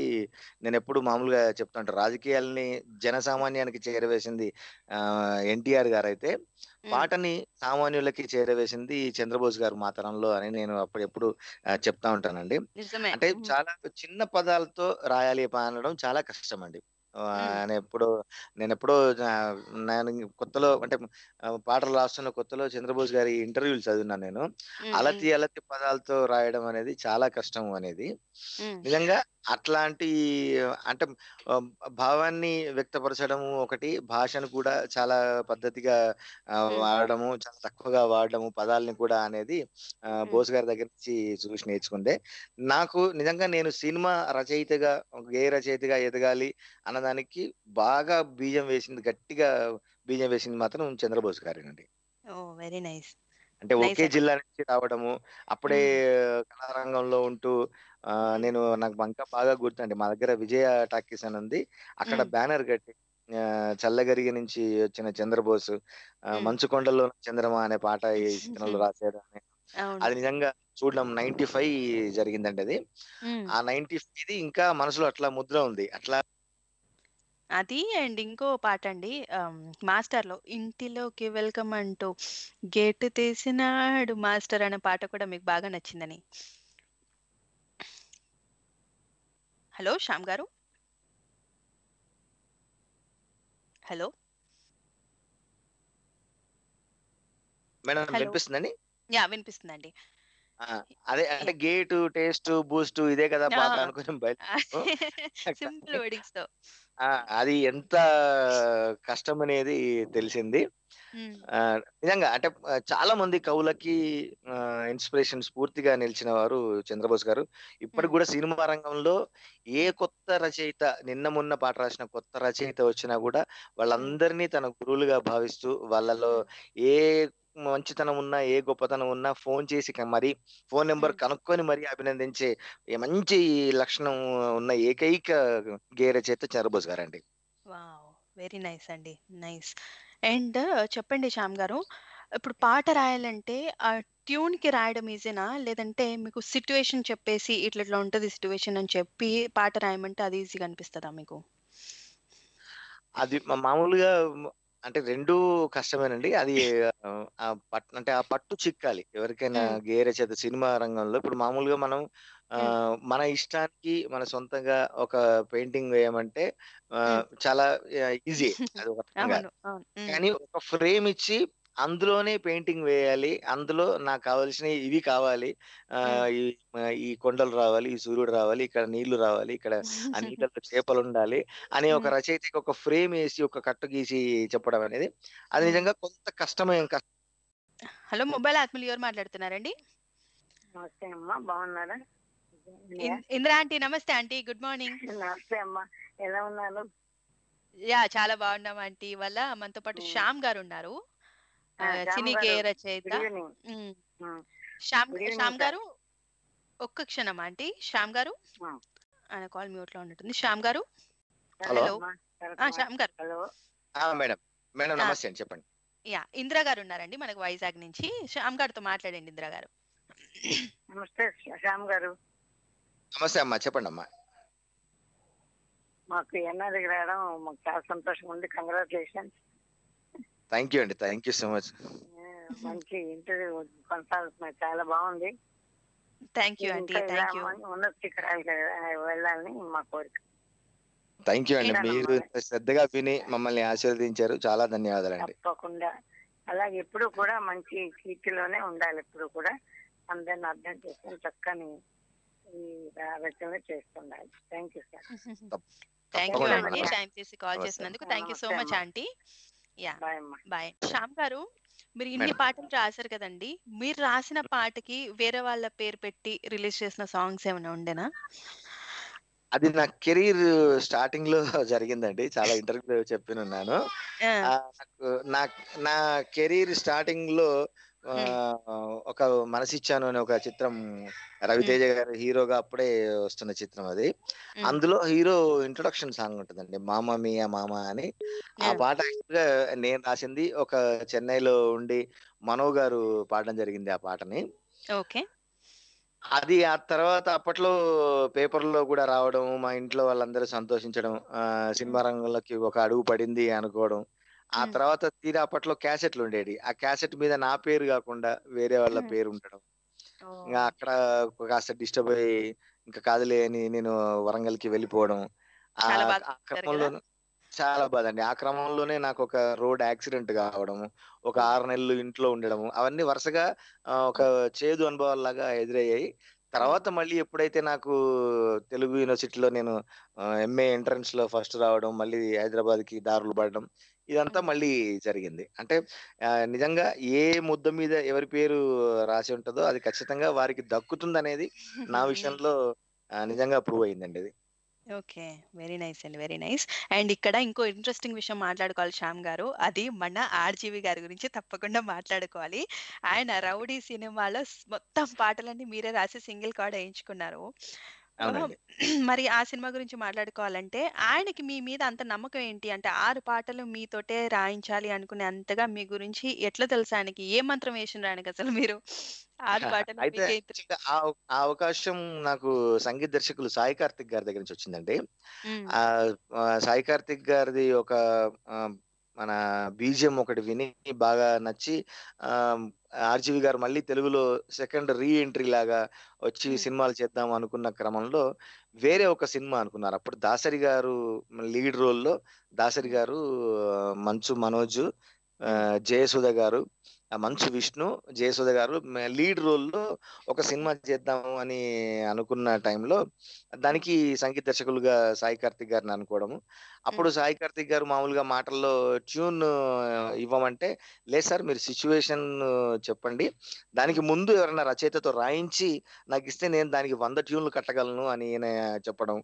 అది మా ఆర్జీవి గారికి బాగా నచ్చి అయితే లిరిక్ రైటర్ని కూడా నువ్వే తెచ్చుకో అని ఈయన ఆయనకు చెప్పడం అప్పుడు సాయి కార్తిక్ గారు ఆలోచించి అంటే ఫాస్ట్గా రాయాలి బాగా ఉండాలి ప్లస్ పెద్దవాళ్ళతో అనుకువగా ఉండాలి అవకాశం పోకుండా వాడుకోగలగాలి అట్లాంటి. రచయితలు ఎవరున్నారు అని వెతికి నన్ను తీసుకుపోవడం. అప్పుడు సేమ్ ఇట్లాగే నాకు సిచ్యువేషన్ చెప్పి morning eleven o'clock situation చెప్పారండి. ఎప్పటికల్లా ఇస్తారు? సాయంత్రం ఐదు గంటలకు మళ్ళీ కలుస్తారా అని అడిగారు నన్ను. అంటే "ఆ, అయిపోతుంది సార్. ఆల్మోస్ట్ ఇంకా ముందే రావడానికి ట్రై చేస్తాము అని. ఆయన చెప్పిన టైం లోపే పాట రాసుకొని. పోవడం. అది. నచ్చి అక్కడి నుంచి అసలు ఆ సినిమా ఏ సినిమా అయితే అనుకున్నామో ఆ ప్రాజెక్టు మూలన పడి రౌడీ అనే ప్రాజెక్ట్ ముందుకు రావడము. మోహన్ బాబు గారు దాసరి గారి ప్లేస్లో అప్పుడు మోహన్ బాబు గారు మంచు మన మంచు విష్ణు అండ్ జయసుధ గారు శాన్వి వీళ్ళందరిని పెట్టి రౌడీ అనే చిత్రం ముందుకు రావడం. అప్పుడు ఒక్కొక్క పాట రాస్తూ ఉంటే ఏ పాట ఇప్పుడు ఫస్ట్ అన్న అనే పాట రాశాను. మోహన్ బాబు గారి క్యారెక్టర్ని పరిచయం చేస్తూ. ఆ. పాట రాయగానే ఇమ్మీడియట్లీ ఇంకా మిగతా పాటలు కూడా శ్యామ్ తోనే రాయిద్దాం. చాలా బాగా రాస్తున్నాడు. నన్ను. అర్థం చేసుకుని క్లియర్గా అంటే చాలా ఫాస్ట్గా మంచి క్వాలిటీ క్వాంటిటీగా క్వాంటిటీ ఇస్తున్నాడు అని చెప్. మీకు ఎటువంటి ప్రెషర్ ఏమైనా ఉండనా అండి? అంత పెద్ద డైరెక్టర్ రామ్ గోపాల్ వర్మ అంటే ఆయన దగ్గర రాస్తున్నాను మంచి పేరు తెచ్చుకోవాలి ఎట్లయినా ప్రూవ్ చేసుకోవాలి ఇంప్రెస్ చేయాలి అన్న ప్రెషర్ ఉండేనా? లేకపోతే ఎట్లా ఉండే? లేదండి. అప్పటికి వర్మ గారితో యాక్చువల్గా నాకు ఒక అంటే ఒక ఫన్నీ ఇన్సిడెంట్ అది. ఫన్నీ ఇన్సిడెంట్ అని కాదు కానీ ఒక మేము అప్పుడు రక్త చరిత్ర రామ్ గోపాల్ వర్మ గారు చేసినప్పుడు దానికి అగేనెస్ట్ గానే ఒక ఛానల్లో శాంతి చరిత్ర అని పెట్టుకొని మేము అప్పుడు యాంటీ యాక్షన్ మేము ఒక ఆల్బమ్ చేయడం జరిగింది. మేలుకొలుపు అని. ఓకే. అప్పుడు నన్ను డిబేట్లో కూర్చోబెట్టి రక్త చరిత్ర గురించి శాంతి చరిత్ర అని మా పాటలు పాటించడం దాంతో అప్పుడు వర్మ గారు అంటే నాకు బాగా తెలిసిన వాళ్ళే అన్న ఒక ఫీలింగ్ వచ్చేసింది. ప్లస్ ఆయనతో మాట్లాడినప్పుడు మనకు ఆయనతో మాట్లాడుతుంటే నిజంగా ఒకంత నేర్చుకోవచ్చు ఈయన దగ్గర అనే ఒక ధైర్యమే వస్తుంది తప్ప భయం అయితే రాదండి ఆయన అట్లా నాకు నిజంగా వర్మ గారితో పనిచేసేప్పుడు చాలా జోవియల్గా మనకంటే ముందు ఆయన ఒక అథ్లెట్ లాగా మనకంటే ముందే పరిగెడుతుంటాడు. మనం ఆయన. వేగాన్ని ఆయనకంటే ముందు పరిగెట్టి రాయగలిగితే తప్ప ఆయనతో మనం పని చేయలేం. ఓకే. అండ్ ఆయన ఇంటర్వ్యూలో కనిపించేదానికి పర్సనల్గా ఉండే బిహేవియర్కి చాలా తేడా ఉంటది అంటుంటారు. ఆయన పర్సనల్గా తెలిసిన వాళ్ళు చాలా స్వీట్ పర్సన్ ఆయన చాలా బాగా ఫ్రెండ్లీగా ఉంటారు. ఓన్లీ ఇంటర్వ్యూలోనే అలా చేస్తారు ఆయన అట్లా మాట్లాడతారు అంటారు. సో చెప్పండి ఆయన పర్సనల్గా ఎట్లా ఉంటారు? ఫ్రెండ్లీగా ఉంటారా? పర్సనల్గా చాలా ఫ్రెండ్లీ ఉంటారండి. చిన్న పిల్లాడి కంటే ఎక్కువగా ఉంటారు. ఉమ్. ఆయన యాక్చు- ఆ, పాటకి అంతే అద్భుతంగా స్పందిస్తాడు చిన్న పిల్లల్లాగా. ఒక పాట మంచి పాట వచ్చిందంటే ఆయన స్టూడియోలోనే డాన్సులు చేస్తా ఉంటాడు. అంత జోవియల్గా ఉంటాడు. అంత స్ట్రైట్గా ఉంటాడు అండి ప్రతి విషయం. నైస్. అండ్ రౌడీ సినిమా గురించి మాట్లాడుకోవాలంటే అండి అందులో బా నీ మీద ఒట్టు. ఆ పాట ఎంత బాగుంటుందో ఆ పాట. అండ్ ఆ పాట మొత్తం ఒట్ల మీదే ఉంటది. నీ. మీద ఒట్టు నీ ప్రేమ మీద ఒట్టు అలివేలు మంగ మీద ఒట్టు. అదెందుకు రాయాలనిపించింది అండి అలివేలు మంగ మీద ఒట్టు? అంటే అది సీమ నేపథ్యంలో జరిగే కథ అండి ఆ రాయలసీమ ప్రాంతం అని. మనం మామూలుగా ఏదన్నా ఒక మాట చెప్తే ఎవరికన్నా అమ్మ మీద ఒట్టు అంటాం అల్టిమేట్ ఒట్టు వేయడానికి. ఇప్పుడు ఆ సీమ ప్రాంతానికి మొత్తం నమ్మే అమ్మ అలివేలు మంగమ్మ. అందుకని ప్రేమని ఎక్స్ప్రెస్ చేస్తూ నీ మీద నా మీ నా ప్రేమ అంత నిజమైంది అని చెప్పడానికి నా కోసం నిన్ను కన్న ఈ సీమ మీద ఒట్టు నేను నమ్మేటి అలివేలు మంగ మీద ఒట్టు అని రాశానండి. అండ్ ఇంకో లైన్ కూడా ఇష్టం అండి అందులో నాకు ఏదంటే దేవతనే మరిపించే నీ రూపం మీద ఒట్టు అనే లైన్ నాకు ఎంత ఇష్టమో. అవునండి. మోహాన్ని కలిగించే నీ మౌనం మీద ఒట్టు అని. యా బ్యూటిఫుల్ సాంగ్ అసలు. ఓకే చేసిండ్రా అండి? ఒకసారికి ఆయన ఈ పాట అవునండి. ఓకే. ఓకే. వెంటనే చేశారు. ఎన్ని రకాల ఓట్లు అసలు అంత చాలా చిన్న పదాలతో చెప్పావని మంచి నాకు ఇచ్చారంటే ఇప్పటికీ నిజంగా జనాల్లో ఆ పాట బాగా ఎందుకు గుర్తుండిపోయింది అంటే దానికి విజువల్ కూడా తోడు ఒకటి నాకు ఒక క్రెడిట్ కూడా దక్కిందండి. దేవుణ్ణే నమ్మని రామ్ గోపాల్ వర్మతో నువ్వు అలివేలు మంగ మీద పట్టుకొని రాయించి ఒప్పించావంటే నువ్వు చాలా గ్రేట్ అయ్యా చాలా మంది అభినందించిన వాళ్ళు ఉన్నారు నన్ను. Okay okay. నైస్. అండ్ అందులో ఇంకో సాంగ్ కూడా అండి. జయసుధ చనిపోయినప్పుడు రాసిన సాంగ్ కూడా అల్టిమేట్ ఉంటుంది ఆ సాంగ్ కూడా. అంటే విన్న. ప్రతి కళ్ళలో నీళ్ళు వచ్చేస్తాయి. అందులో మోహన్ బాబు గారు యాక్షన్ అవ్వనియండి. సీన్స్ అవ్వనియండి. విజువలైజేషన్ అవ్వనియండి. చాలా బ్యూటిఫుల్గా ఉంటది. అండ్ మీకు కూడా కొంచెం పర్సనల్ కనెక్షన్ ఉంది ఆ పాటతో. అవునండి. యా ఆ పాట నరేషన్ మీకు ఎట్లా చెప్పినారు? ఆర్జీవ్ గారు అది మా కోసం ఒకసారి. ఎస్ ఇప్పుడైతే మన ధనా ఫిఫ్టీ వన్ వచ్చేసి ధనా ఫిఫ్టీ వన్ నమస్తే అండి. Hi Vinaya good night. Hello అండి. వింటూ ఉన్నారా? వింటున్నాను. Okay okay. శ్యామ్ గారికి ఐ థింక్ కాల్స్ వస్తూ ఉన్నట్టున్నాయి నాకు తెలిసి. ఓకే. మీరు విన్నారా అండి ఆయన సాంగ్స్? ఆయన సాంగ్స్లో మీకు బాగా నచ్చిన సాంగ్స్ ఏంటి? నాకైతే ఇంక రాములే రాములే. ఇంక మామూలు కాదు దానికి. నేనైతే టిక్ టాక్ అప్పుడే ఆల్రెడీ రెడీ కూడా చేసుకున్నాను నేను ఆ సాంగ్కి okay okay. So TikTok చేసిండ్రా మీరు? నెక్స్ట్ ప్లాన్స్ వల్ల నాకు నా సరదా తీర్చేసుకుంటున్నాను ఓకే ఓకే. వెరీ నైస్ అండి. షార్ట్ ఫిల్మ్ లోటి అంతా నాకు సర్కిల్ ఉంది. ఇంక యూజ్ చేసుకుందాం సరదాగా అంతే. హలో? ఆ, శ్యామ్ గారు. కాల్స్ వస్తున్నాయా అండి? సారీ అండి. కొంచెం పర్లేదండి. చెప్పండి. మేడం. Yeah yeah yeah. మన ధనా రెడ్డి కూడా ఉన్నారండి న్యూ జెర్సీ నుంచి మీతో మాట్లాడడానికి. ధన గారు నమస్తే అండి. నమస్తే అండి శ్యామ్ గారు. సార్ నమస్తే చెప్పండి. టిక్ టాక్ రెడీ చేసుకున్నారండి. అయితే మీ మీది రాముల రాముల సాంగ్ గురించి నేను. జనరల్ గానే హలో గానీ లేకపోతే లైకీ గానీ టిక్ టాక్ గానీ యాప్లు చూస్తాండి. ఇంకా ఇంకా పిచ్చ పిచ్చగా మొత్తం ఈ హైదరాబాద్ దగ్గర నుంచి కాకినాడ రాజమండ్రి ఎన్ని చోట్ల అంటే అండి ఇంకా ప్రతి ఒళ్ళు వీడియోలు చేస్తూనే ఉన్నారండి. అవునండి అవునండి. చాలా అంటే సాంగ్ ఎంత నైస్ నైస్. మంచి టిక్ టాక్ చేయండి అప్లోడ్ చేయండి ఫుల్ వ్యూస్ వస్తాయి. ఇంకేంటి డిఫరెంట్గా ఉండాలని చెప్పి నేను ప్లాన్ చేసి మా ఫ్రెండ్తో చెప్పాను. ఇలా అని చెప్పానండి. నైస్. వెరీ నైస్ మేము కూడా వెయిటింగ్. చూస్తాం మేము కూడా. పంపించండి చెప్పు- నేను పంపిస్తాను పోస్ట్ శ్యామ్ గారికి టిక్ టాక్ చేసి. థ్యాంక్ యూ అండి ధనరెడ్డి గారు. థ్యాంక్ యూ అండి. ఆ, అంతే అండి ఓకే ఏమన్నా అండి thank you. Thank you so much అండి గారు. ఆ, ఓకే బాయ్ అండి. బాయ్ అండి బాయ్ అండి. మరి శ్యామ్ గారు శ్యామ్ కాసర్లా అంటే ఇంకో పేరు కూడా ఉంది ఇండస్ట్రీలో. ఏంటంటే చాలా తక్కువ టైంలో క్విక్గా పాటలు రాస్తారు అని. అట్లా చాలా. క్విక్గా రాసి హిట్ అయిన పాటలు ఏంటండి? చాలా చాలా క్విక్గా రాసి హిట్ అయిన పాటలు. ఇప్పుడు ఈ అన్ని అండి ఆల్మోస్ట్గా రామ్లో రామ్లా కానివ్వండి ఎఫ్ టూ కానివ్వండి సుప్రీం లో వాలా వాలా టాక్సీ వాలా అనే ఒక సాంగ్. అట్లా ప్రతి సాంగ్ ఆల్మోస్ట్ అన్ని చాలా క్విక్గా రాసినవి అందులో ఒకటే ఒక వెర్షన్ రాశాక అంటే ఆల్మోస్ట్ ఒకటి రెండు వెర్షన్లు అన్ని పాటలకు రాస్తుంటాము. ఒకే ఒక్క వెర్షన్కు ఓకే చేసి ఇమీడియట్గా అసలు ఒక్క పదం కూడా మార్చకుండా ఓకే చేసిన పాట ఆ దిమాగ్ ఖరాబ్ అండి. ఇస్మార్ట్ శంకర్లో దిమాగ్ ఖరాబ్ అనే పాట. పూరి గారి దగ్గర నుంచి అయితే అసలు ఆ ఒక్కసారి వన్స్ ఆయన నచ్చింది విన్నారు ఒక సౌండింగ్ నచ్చింది అనగానే అసలు ఏమీ వినకుండా మిగతా ప్రతి పదం పదం ఎంజాయ్ చేసి అసలు ఒకటే వెర్షన్లో ఓకే చేసిన పాట అండి అది. అది కూడా ఆల్మోస్ట్ వంద మిలియన్ల పైన ఉంది వీడియో సాంగ్. లిరికల్ వీడియో యాభై మిలియన్ల పైన పైన ఉంది. ఓన్లీ. సింగిల్ ప్లాట్ఫామ్స్లో యూట్యూబ్ లాంటి ప్లాట్ఫామ్స్లో అవును. ఎస్ అవునండి. ఒక్క క్షణం అండి. ఒక మొబైల్ ఆత్మలు ఎవరు మాట్లాడుతున్నారండి? నాగేశ్వరం అండి. కాదు నుంచి. నాగేశ్వర గారు నమస్తే అండి. వింటూ ఉన్నారా షో? ఆ, వింటున్నానండి. యా మాట్లాడండి. మరి మన శ్యామ్ గారు ఉన్నారు. మాట్లాడండి. నాగేశ్వర గారు నమస్తే అండి. చెప్పండి. నమస్తే అండి. మీరు మంచి మంచి పాటలు రాస్తారు. టాక్సీ వాళ్ళలో మాటే వినదు మాటే వినదు కదా అనే పాట ఒకటి బాగుంటుంది. చాలా థ్యాంక్ యూ అండి. అది మాట వినదు కృష్ణకాంత్ గారు రాశారండి. అట్లాగే మీరు ముస్తాన్ శంకర్ అనే పాట అది ఒకటి బాగుంటది. అవును సార్. మరి కొన్ని కొన్ని మాకు తెలియదు కదా మంచి మంచి పాటలు రాశారు మీరు కొన్ని విన్నాను నేను. కొన్ని ఏంటండి అవునండి. చాలా బొంబాట్ సాంగ్ కానీ రాములు రాములా సాంగ్ కానీ నీలపూర్ గాజుల సాంగ్స్ వింటే ఓ ఈయన రాశారా అని. అనుకుంటారు మీరు కొన్ని పాటలు. అవునవును. నీలిపోరి ఉంది. అవునండి.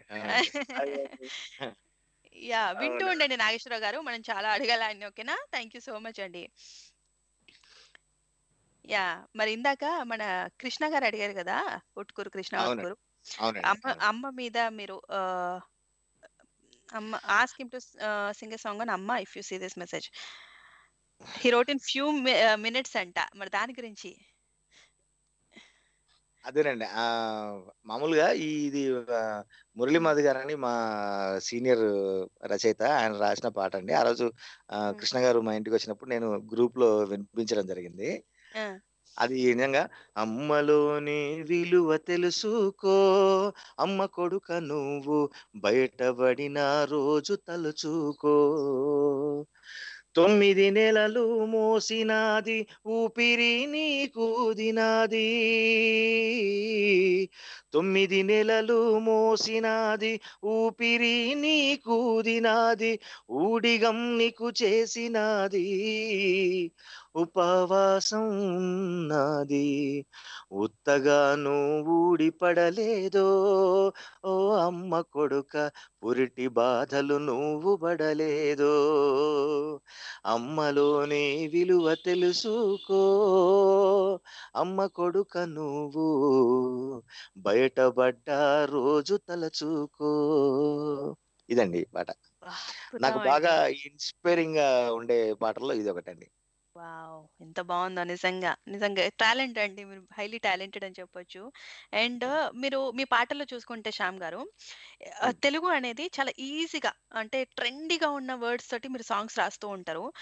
ఆహ్, అవును. అంటే ఆహ్, మీరు చెప్పండి అసలు సాంగ్స్ అంటే చాలా గ్రాంథిక భాషలో రాస్తే హిట్ అయితాయి అనుకుంటారా? లేదా సింపుల్ వర్డింగ్స్‌తో రాసి హిట్ చేయొచ్చు అనుకుంటారా పాటలు? సింపుల్‌గా ఉంటే బెటర్ అని నా ఉద్దేశ్యం. అంటే ఏ భాష అయినా నిజంగా వింటూ వింటూగా నేర్చుకోవచ్చు. హ్మ్. మాట్లాడుతూ ఉంటే అది మనుగడలో ఉంచొచ్చు దాన్నని నా ఉద్దేశ్యం అండి. మనం అందుకే చాలా చిన్న పదాలు ఇప్పుడు మనం. నిజంగా అమ్మ భాషని, తల్లి భాషని బతికించాలి. అట్లాంటి భాషలో మీరు ఇందాక అన్నట్టు చరవాణి. ఆత్మీయులు అని మనం అనలేం. ఆహ్, హ్మ్. అంటే అనొచ్చు. ఆహ్, అనొచ్చు, బతికించొచ్చు ఓకే. అదే. ఇప్పుడు మనం రైళ్ళు అంటాము. ఇప్పుడు ఏదో ధూమశకట వాహనము. చతుశ్చక్ర వాహనం ఇట్లాంటియన్నీ మ పాడితే. ఇప్పుడున్న జనరేషన్ పిల్లలకి భయం ఒకటి కలగొచ్చు. దాని ఇంట్రెస్ట్ పోవచ్చు. మనం. వాళ్ళని మాట్లాడించాలి. వాళ్ళకి భాషలో మాట్లాడించాలి. భాషను బతికించాలి అనుకుంటే చిన్న. చిన్న పదాలతోని ఓహో! ఇంతే గదా! అని. ఇప్పుడు నాలాంటి. రచయిత బయలుదేరిండు అంటే పాట అంటే ఇంతే గదా! అనే. ఒక దాంతోనే బయలుదేరి అందులో లోటుపాట్లు లోతు తెలుసుకోవడం జరిగింది. అట్లా. ముందు స్టెప్పిన్ అవ్వనివ్వండి. అందుకే. చిన్న చిన్న పదాలతో రాస్తేనే. బెటర్ అని నా ఉద్దేశ్యం అండి. పాట అనేది. అందరి ఇంట్లో నానుతూ ఉంటేనే ఇప్పుడు ఈ 'రాములో రాములా' అన్న పదం. నిజంగా చిన్న పిల్లలు కూడా ఇప్పుడు మంత్స్ బేబీస్ కూడా 'రాములో రాములా' అన్న సౌండ్! ఆడుతున్న వీడియోలు ఎన్నో చూస్తున్నాం మనం. అవును. అది ఏంటంటే ఒక మీద ఇంట్రెస్ట్ కలగజేసి ఓసి ఇంతేనా అనిపిస్తే ఏదైనా చేయగలరండి. ఇది. కష్టము అనుకుంటే వెనకటి జనరేషన్ అంటే కష్టం. అంటే దాన్ని అంతు చూడడానికి ఇష్టపడేవాళ్ళు గానీ ఇప్పుడు కష్టం అంటే ఈ జనరేషన్. వదిలేసుకుంటూ వెళ్తున్నారు. గేమ్స్‌లో అవును. చూడండి ఇంకేది చూసినా కూడా ఒక. ఏదన్నా రాదు అంటే పజిల్‌ని సాల్వ్ చేయడానికి ఇంట్రెస్ట్. చూపట్లేదు ఇప్పుడున్న జనరేషన్. దాన్ని. వదిలేస్తూ ఇంకోటి కొత్తది పట్టుకుంటున్నారు. అట్లా కాకుండా వాళ్ళకి భయం పెట్టే విధంగా భాష ఉండొద్దని నా ఉద్దేశ్యం. ఇది హ్మ్. స్వీట్‌గా ఉంటూ ఇంతే గదా! ఈజీ గదా! ఇందులోనే మనం మాట్లాడాలి. ఇది బెటర్ గదా! అన్నట్టు ఉంటేనే బెటర్ అండి. అవునండి. కరెక్ట్. అందులో చూసుకుంటే చూడండి. అమ్మ మనకు చిన్న చిన్న పదాలతో హాయి అని చెప్తది. ఓ అంటే మనం మామూలుగా నాలుకని మనం అడ్డంగా ఊపుతాం. లో లో అంటే ఏమి లేదు. అని. అవును. హాయి జీవితంలో అసలు లేదు అని చిన్న పదంలోనే చిన్న శబ్దంలో ఎంత బాగా తల్లి చెప్తుందో అప్పటినుంచే మనకి. అట్లా. చిన్న చిన్న పదాలతో మనం ఎక్కువ అర్థాల్ని చెప్పగలిగితే భాష. గూడా బతుకుతుంది. జనాలు గూడా అందులో మాట్లాడడానికి, అది వినడానికి ఇష్టపడతారని నా ఉద్దేశ్యం అండి. ఇష్టపడతారు. అండ్ తొందరగా వెళ్తది కూడా జనాల్లోకి. చిన్న పిల్లలు అవ్వనియండి ఎవరైనా పికప్ చేసేసుకుంటారు సాంగ్స్ అవి. అండ్ ఈ బొంబాట్ సాంగ్స్‌లో డిస్కో స్కిన్ ఒలిచి కుట్టిస్తా సారీ అని అది కావచ్చు. లేదంటే రాజా రాజా రాజా ది గ్రేట్ రా తల తల 2000 నోట్ రా అప్పుడే 2000 నోట్స్ వచ్చినట్టున్నాయి కొత్తగా. ఈ అంటే ఈ డౌట్ కూడా అనిల్ రావిపూడి గారు వ్యక్తపరిచారండి. నేను! రాసినప్పుడు ఎక్స్‌ప్రెషన్ చాలా బాగుంది. కానీ మన సినిమా రిలీజ్ అయ్యే టైంకి 2000 నోట్ అనేది జనాల్లో నలిగిపోతది గదా! ఎందుకు ఈ! పదం వాడావు అని అన్నాను. అంటే ఆ సంవత్సరం విడుదలైన 2000 నోటు ఆ సంవత్సరం మొత్తం కొత్తదేనండి. విడుదలైన కొత్తల్లోనే ఒక నెలకే పాతబడిపోదు. అందుకనే హ్మ్. ఆ ఎక్స్‌ప్రెషన్ నాకు బాగా నచ్చింది. ఆ 'తల తల 2000 నోట్' అంటే. ఫ్రెష్‌నెస్ చెప్పడం కోసం రాసింది. అది ఆ సంవత్సరం మొత్తం ఫ్రెష్‌గానే ఉంటది. ఏం ప్రాబ్లమ్ లేదు. జనాలు దాన్ని యాక్సెప్ట్ జేస్తారు అని ఒప్పించగలిగాను. ఆయన ఆ! కూడా కన్విన్స్ అయ్యి చాలా బావుందండి అని మెచ్చుకున్నారు అనిల్ గారు. ఓకే. ఓకే. నిజంగా సూపర్ హిట్ సాంగ్ అది గూడా. అండ్ శ్యామ్ గారు అంటే మీ గురించి మీరేమనుకుంటారండి? అంటే విరహ గీతాలు బాగా రాస్తా అనుకుంటారా? లేదంటే రొమాంటిక్ సాంగ్స్ బా రాస్తా అనుకుంటారా? లేదంటే జానపద ఫ్లేవర్‌తో ఆ టచ్ ఉండి బాగా రాస్తా అనుకుంటారా? I'm sure as a lyricist మీకు అన్ని జానర్స్‌లో రాయాలని ఉంటది. అండ్ రాస్తారు కూడా. సో మీకు ఎగ్జాక్ట్‌లీ. పర్సనల్‌గా అంటూ ఒక ఒకటి ఇది ఉంటది కదా! నేను ఇది బాగా రాస్తాను, బా రాయగలుగుతానని. ఎగ్జాక్ట్‌లీ అండి. అన్ని పాటలు నిజంగా నేను రాయగలుగుతాను, రాస్తాను. నాకొచ్చే అవకాశాలు కూడా అట్లా ఉన్నాయి ఇప్పుడు. ఏ ఏ పాట రాసినా నాదంటూ ఒక మార్కు, చిన్న ఎక్స్‌ప్రెషన్ మనకు చిన్న నవ్వు అన్నా రావాలి. లేదా! వాహ్! భలే ఉంది ఎక్స్‌ప్రెషన్ అన్న అనిపించాలి అనేదే నా ఇంట్రెస్ట్ అండి. అది. నాకు బొంబాట్ తర్వాత నుంచి అలవాటు అయిందేమో మేబీ. ఎందుకంటే అందులో చూస్తే మీరు బొంబాట్‌లో ప్రతి లైన్ ఒక చిన్న ఎక్స్‌ప్రెషన్ ఉండి, అరే! గమ్మత్తుగా ఉందే, భలే ఉందే అనిపించే అది. అంటే ఏ. పాట రాసినా అందులో రాయాలనే ఆహ్, ఏదన్నా చిన్న ఎక్స్‌ప్రెషన్ రాయాలనే. అనిపిస్తదండి నాకు. వెరీ నైస్ అండి. Very nice. అండ్ ఇక్కడ మనం మాట్లాడుకోవాల్సింది మారుతి గారి గురించి.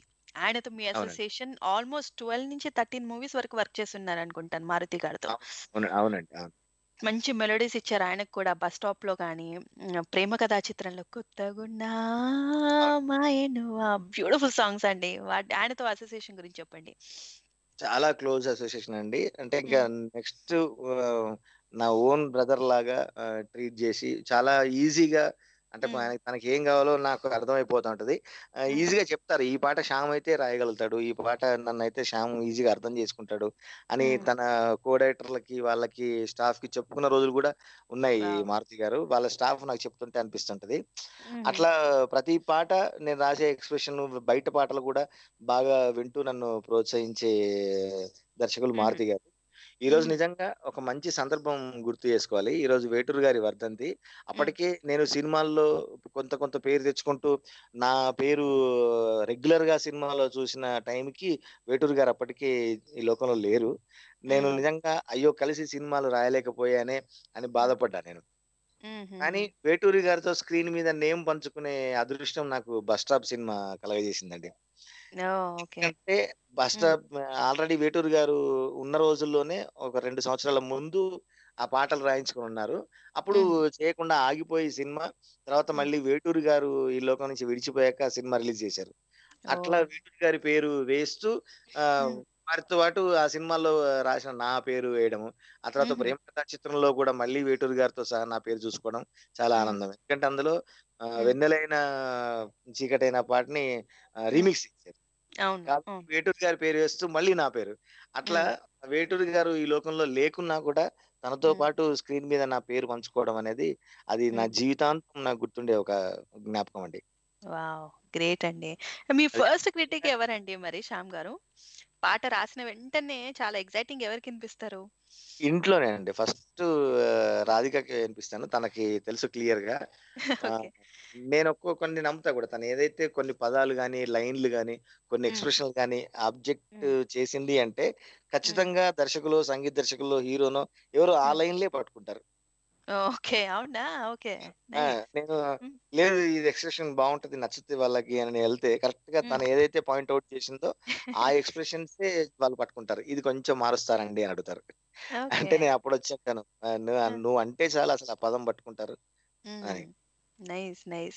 అండ్ ఇండస్ట్రీలో అండి కొత్తగా వచ్చిన వాళ్ళకి ఉండే సపోర్ట్ గురించి చెప్పండి. బికాజ్ మీరు కొత్తగా వచ్చినప్పుడు మీ గురించి ఎవ్వరికి తెలియదు కదా? సో మీ. టాలెంట్ గురించి ఎవ్వరికి తెలియదు కొన్ని హిట్ సాంగ్స్ పడ్డాక అప్పుడు అందరు గుర్తిస్తారు. ఓ ఈయన ఈయనకి ఎంత టాలెంట్ ఉంది రాయించొచ్చు అని. సో మీరు అప్పుడప్పుడే అప్కమింగ్గా వస్తున్నప్పుడు మీకు బాగా బ్యాక్ సపోర్ట్ ఇచ్చి ఎంకరేజ్ చేసిన వాళ్ళంటే ఎవరు చెప్తారు? నాకు అంటే first of all family support బాగుందండి. వాళ్ళు ఎంకరేషన్ అంటే వాళ్ళ ఎంకరేజ్మెంట్ ప్రోత్సాహం నిజంగా ఎక్కడ అంటే వెనకడుగు వేయకుండా నడిపించింది. తర్వాత నాకు నా లోపని లోపాలు చెప్తూ నన్ను నడిపించింది నిజంగా నాకు రాధిక అంటే. ఎట్లా డీల్ చేయాలి సమస్యల్ని కానీ లేకుంటే ఒక విషయాన్ని కానీ ఎట్లా నాలుగైదు రకాలుగా ఆలోచించవచ్చు అవన్నీ చెప్పింది తనే. తర్వాత సేమ్ మారుతి గారు సాయి కార్తిక్ గారు ఇట్లా. చాలా మంది సపోర్ట్గా ఉండి అంటే నన్ను నాకంటే నా టాలెంట్ని బాగా నమ్మి నన్ను ఎంకరేజ్ చేసిన వాళ్ళు. ముఖ్యంగా శ్రీహరి గారు అండి రియల్ స్టార్. శ్రీహరి గారు. ఆయనతోని ఒక మూడు సంవత్సరాల అనుబంధం. అది నాకు కొన్ని వందేళ్ళ అసలు ఒక ఆత్మ స్థైర్యాన్ని ఇచ్చింది వెయ్యి ఏనుగుల బలాన్ని ఇచ్చింది ఆ మూడు సంవత్సరాలు. నా మీద నాకు ధైర్యాన్ని గౌరవాన్ని నమ్మకాన్ని అన్ని పెంచింది ఆ మూడు సంవత్సరాలండి. శ్రీహరి గారి పరిచయం ఆ ఇంకో రకంగా మార్చింది. అంటే ఈ రోజు ఇప్పుడు నేను చూస్తున్న శ్యామ్ని తీర్చిదిద్దింది శ్రీహరి గారి సాన్నిహిత్యమే. ఓకే. అండ్ ఆయనకి ఇరానీ ఛాయ్ అని ఒక పాట రాశాను కదండి? అవునండి అవును. అద్- ఒకసారి హామ్ చేయండి మా కోసం యా తప్పకుండా అండి. Yeah. ఆదా అంటాడు ఆచారి నమస్తే అంటాడు నజీరుబాయ్. తీసుకుంటారు అలాయ్ బలాయ్ ఆర్డర్ ఇచ్చి వన్ బై టూ చాయ్. అందరూ ఇక్కడ ఒకటే రయ్యా అందరి అడ్డా ఇది రాబయ్యా సలాం నమస్తే సలాం నమస్తే సలాం నమస్తే హైదరాబాద్. ఇరానీ హోటల్ జిందాబాద్. నిజంగా శ్రీహరి గారు హ్యూజ్ లాస్ అని చెప్పొచ్చు అండి ఇండస్ట్రీకి. ఆయన లేని. లోటు. బాగా తెలుస్తుంది నిజంగానే. అండ్ బయట కూడా చాలా ఫ్రెండ్లీగా ఎవరినైనా సంత తమ్ముళ్ళు లాగా చూసుకుంటారు. ఇంటికి వచ్చిన వాళ్ళని తినిపించి కానీ పంపించరు అని చెప్తూ ఉంటారు. ఎంత ప్రేమగా చూసుకుంటారని. ఎంతో మంది టెక్నీషియన్స్ని డైరెక్టర్స్ని రైటర్స్ని ఈ రోజు వాళ్ళు ఆత్మగౌరవంతో ఆత్మ విశ్వాసంతో ఉమ్, గౌరవంగా గర్వంగా బతుకుతున్నారంటే శ్రీహరి గారు ఇచ్చిన ప్రోత్సాహమే అని. ఖచ్చితంగా చెప్పచ్చు. అవును అవును. నిజంగా అండి. అండ్ శ్యామ్ గారు మీరు పాట రాసిన తర్వాత ఈ వర్డింగ్స్ బాగాలేవు లేదంటే ఇవి మార్చండి చాలా కష్టపడి రాసిన పాటల్లో ఇది కొంచెం మొత్తమే మార్చండి అని చెప్పి మార్పించిన పాటలు ఏమైనా ఉన్నాయా? అట్లా అనిపించినప్పుడు మీకు ఏం సరే ఓకే మార్చేద్దాం అనుకుంటారా? లేదంటే అబ్బా బాగుంది కదా ఎందుకు మార్చమంటున్నారని చెప్పి కన్విన్స్ చేయడానికి ట్రై చేస్తారా? అంటే పాట అనేది ఖచ్చితంగా డైరెక్టర్స్ విజన్ అండి. అంటే సినిమా పాట వరకు. ఆ, సిచ్యువేషన్కి తగ్గ పాట డైరెక్టర్స్ విజనే. నిజంగా కొన్ని మనం చూడలేనివి కూడా వాళ్ళు దర్శిస్తారేమో. అంటే వాళ్ళ విజన్ అట్లుంటదేమో అనిపిస్తుంది నాకు. కొన్ని కొన్ని పాటల్లో నేను రాసిన వాటికి వేరే డైమెన్షన్లో చూసి అర్థాలు చెప్పిన దర్శకులు కూడా ఉన్నారు. అందుకే నేను వాళ్ళకు మాక్సిమం వాళ్ళ విజన్ నుంచి ఆలోచిస్తాను. నాకు నిజంగా కష్టపడి రాసి ఇష్టపడి రాసిన తర్వాత మార్చిన పాట అంతకంటే నిజంగా మారి నా కెరీర్ నే మార్చిన పాట ఈ బొంబాట్లోని ఈ బొంబాట్ సాంగ్ లై లైలోని బొంబాటు. ఫస్ట్ రాసుకున్న వెర్షన్ అంతా వేరు. అది తీరా ఒకటి రెండు లైన్లు నచ్చక డైరెక్టర్ గారు "ఆ, సరే మనకి ఇంకా టైం ఉందిలేండి రికార్డింగ్ టైంలో మనం మార్చుకుందాము అన్నారు. రికార్డింగ్ రోజు ఆ రెండు లైన్లు మార్చడానికి నేను రాసిన లైన్లే అవి. మీరు ఇందాక కోట్ చేసిన లైన్లు. ఏంటి? ఆ, నన్ను గాని ఒప్పుకుంటే పోరి. నా స్కిన్ ఒలిచి గుట్టేస్తా శారీ అని. ఆ, లైన్ పడగానే అసలు డైరెక్టర్ గారు ఆగిపోయారు అక్కడ. ఏంటండి ఈ లైన్? అసలు చాలా బాగుంది. మిగతా ఎక్స్ప్రెషన్స్ దీని ముందు తేలిపోతున్నాయి. అసలు దీన్ని మ్యాచ్ చేస్తూ పాట మళ్ళీ రాయండి అన్నారు ఆయన. ఓహో ఓకే. ఆల్రెడీ మణిశర్మ గారి స్టూడియోలో ఉన్నాము. ఆయన పర్మిషన్ తీసుకొని పక్కకు వచ్చి కూర్చొని రాసుకుంటున్నాము. Singer waiting. ఆ టైంలో నాకు పాట అంతా మార్చండి అంటే చరణాలు. పల్లవి ఓకే అయిపోయింది. చరణాలు అన్ని మార్చండి అంటే అసలు నిజంగా అది ఒక టఫ్ టాస్క్. చాలా దాన్ని ఛాలెంజింగ్గా తీసుకొని అప్పటికప్పుడు శ్యామ్ గారు చాలా ఓపిక్గా పాపం వన్ అవరే టైం ఇచ్చారు పాపం. వన్ అవర్ కాస్త వన్ అండ్ హాఫ్ అవర్స్కి ఎక్స్టెండ్ అయింది. థ్యాంక్ యూ శ్యామ్ గారు. ఆయనకి చాలా కాల్స్ వస్తూ ఉన్నట్టున్నాయి పాపం. అందుకే ఇంటరప్ట్ అవుతూ ఉంది. ఇంకా కొన్ని క్వశ్చన్స్ అడిగి మనం అండ్ ఈ లోపు ఆయన అడగాల్సిన కొన్ని క్వశ్చన్స్ వచ్చినాయి. ఆ మెసేజెస్ చదువుతాను. సౌజన్య మెసేజ్ చేసింది ఏమని అంటే వినయా కెన్ యూ ఆస్క్ ఎప్పుడైనా ఏ ఎప్పుడైనా ఆట కోసమైనా ఏ పాట కోసమైనా film directors or music directors ముందు కూర్చొని రాయటం జరిగిందా అని. డెఫినెట్గా ఆ శ్యామ్ గారు? వెరీ సారీ అండి ఒక క్వశ్చన్ వచ్చిందండి మీకు. ఎప్పుడైనా మ్యూజిక్ డైరెక్టర్ కానీ ఫిల్మ్ డైరెక్టర్స్ కానీ మిమ్మల్ని మా ముందే కూర్చొని పాట రాయండి అని కూర్చోబెట్టి రాయించుకున్న వాళ్ళు ఉన్నారా? ఈ క్వశ్చన్ మనకు సౌజన్య కాలిఫోర్నియా నుంచి మెసేజ్ చేసిందండి. చాలా పాటలు అండి నేను రాసిన.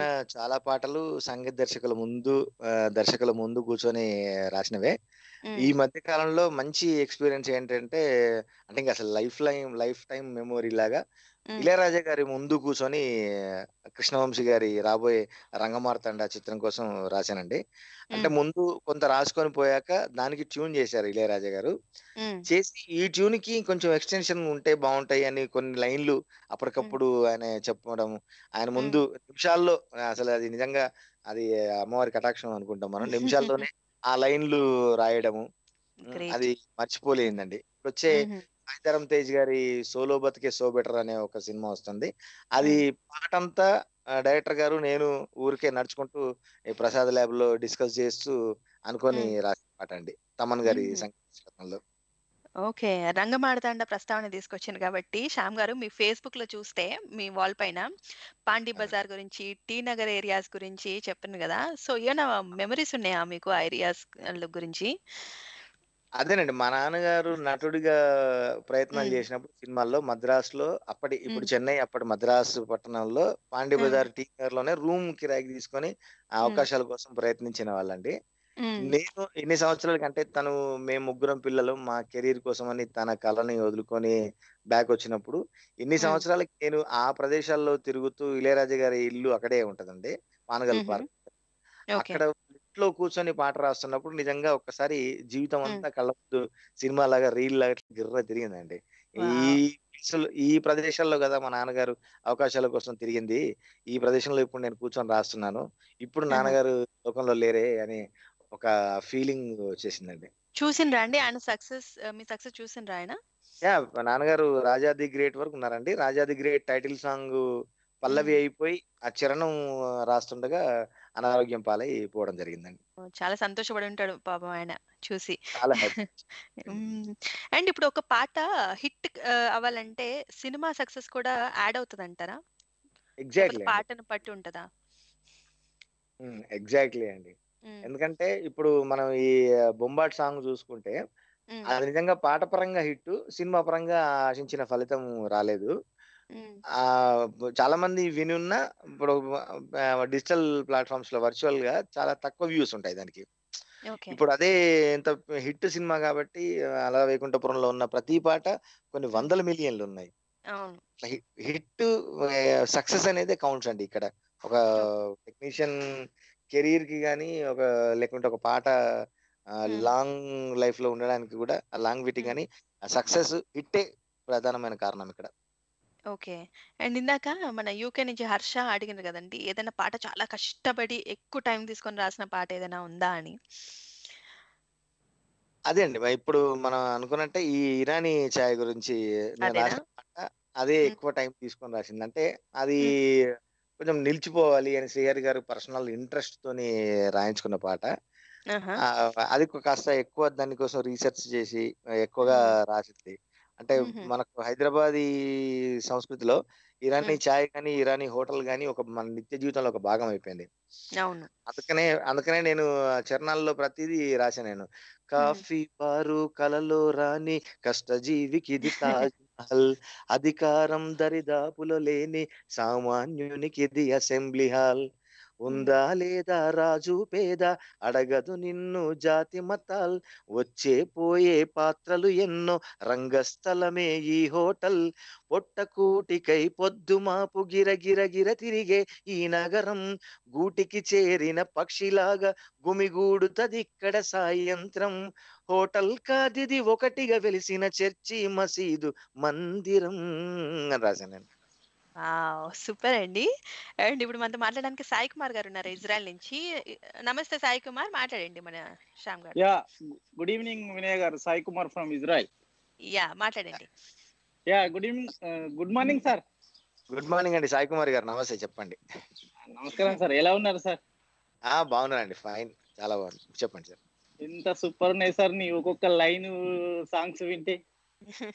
థ్యాంక్ యూ బాగా మ్, మళ్ళీ ఈ జనాల్లోకి తొందరగా స్ప్రెడ్ అయ్యే అంటే గుర్తుండేటట్టు ఉన్నాయి మీ సాంగ్స్ లైన్స్ అన్ని.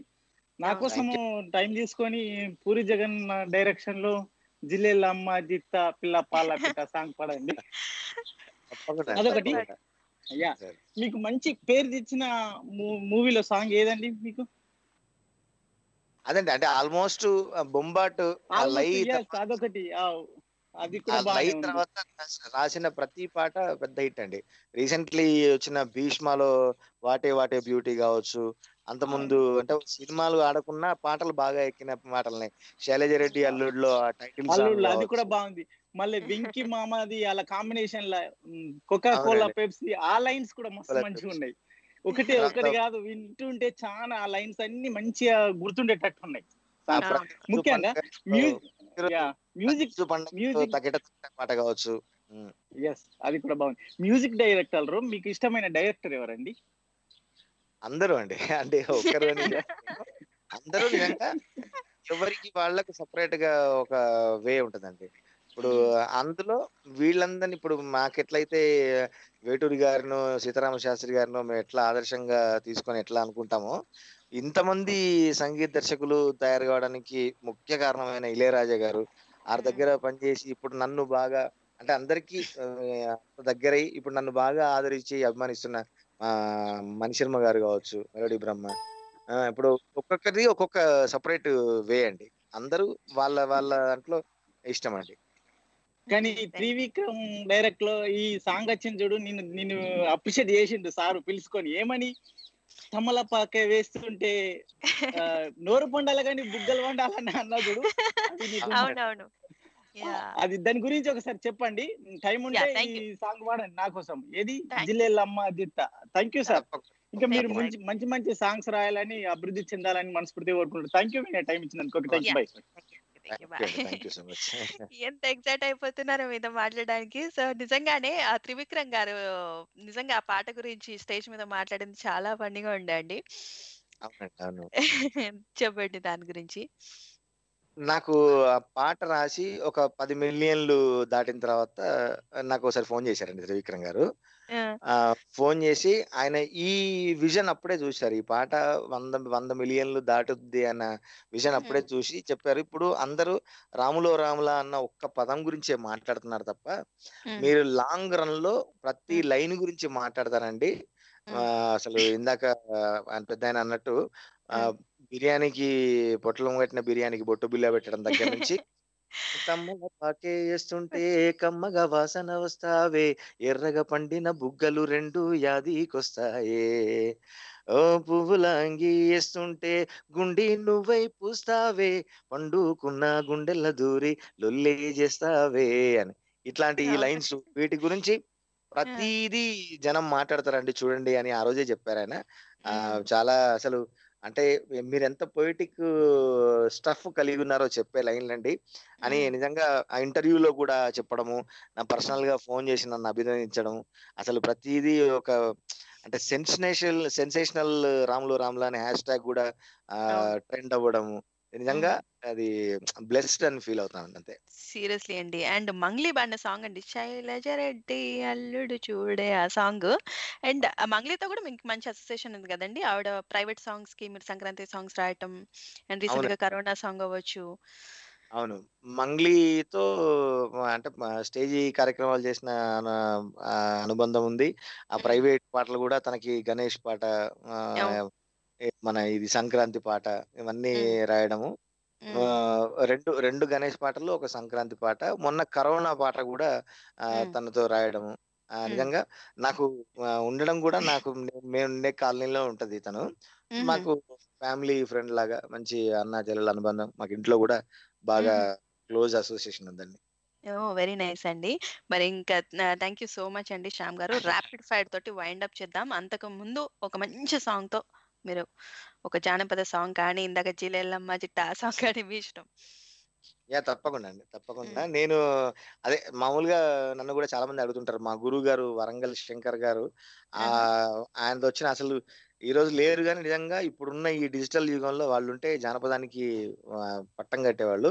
అంత వీళ్ళందరూ ఆ, శంకరన్నను చూసి ఇన్స్పైర్ అయి పుట్టిన కళాకారులు అందరూ నాకు ఇష్టమైన శంకరన్న పాటల్లో మీ ఆరు గుర్రాలు మా ఆరు గుర్రాలు పన్నెండు గుర్రాల బగ్గిపోతుంది పన్నెండు గుర్రాల బగ్గిపోతుంది పన్నెండు గుర్రాల బగ్గిపోతుంది పన్నెండు గుర్రాల బగ్గిపోతుంది బగ్గిలో మేనత్త బిడ్డ పోతుంది బగ్గిలో మేనత్త బిడ్డ పోతుంది. హై! అని అసలు అప్పట్లో మా గురుగారు పాడుతుంటే వీధు వీధులు ఊగే ఊగేవండి. ఇందాక ఇజ్రాయెల్ నుంచి మన మిత్రుడు అడిగినట్టుగా కూడా చెప్తూ సిలక సిలక సిలక ఇది సితరాంగి సిలక పిలగో పిలగో పిలగా పెట్టి పోరా సురక. గిరక గిరక గిరక ఇది సేదబాయి గిరక. ఉరక ఉరక ఉరక సొట బుగ్గే గురక. జిలేలమ్మ జిట్ట పిల్ల పాల పిట్ట. జిలేలమ్మ జిట్ట నిన్నే తేలై గుట్ట. ఉంటే దమ్ముంటేనే పూల పక్క. ఏస్తా సల్లేసై నీ చెమట సుక్క. జిలేలమ్మ జిట్ట పిల్ల పాల పిట్ట. జిలేలమ్మ జిట్ట నిన్నే తేలై గుట్ట. పాట ఒక ఎత్తు అయితే అందులో రామ్ సాంగ్ ఇంకా next level dance next level ఉంటది. అవునండి. అసలు ఈ కాంబినేషన్ మణిశర్మ గారు ఆ పాడిన సింగర్స్ సాకేత్ కొమండూరి అండ్ కీర్తన శర్మ రామ్. ఈ కాంబినేషన్ మళ్ళీ ఇప్పుడు రెడ్ సినిమాలో రిపీట్ అయిందండి. రీసెంట్లీ డించక్ అనే ఒక చిన్న టీజర్ చిన్న గ్లిమ్స్ రిలీజ్ చేశారు ఒక పల్లవి వరకు. అది కూడా నేను రాసిందే. దిమాగ్ ఖరాబ్ ఎట్లాగైతే ఆదరించారో అంటే సోషల్ మీడియా ప్లాట్ఫామ్స్లో బాగానే ట్రెండ్ అవుతుంది ఇప్పుడు ఆ సాంగ్ కూడా. డించక్ అనే. సాంగ్. నైస్ అండి నైస్ అండి. ఇప్పుడు మాకు విలాస్ గారు ఉన్నారండి న్యూ జెర్సీ నుంచి మాట్లాడదాం. విలాస్ గారు నమస్తే అండి.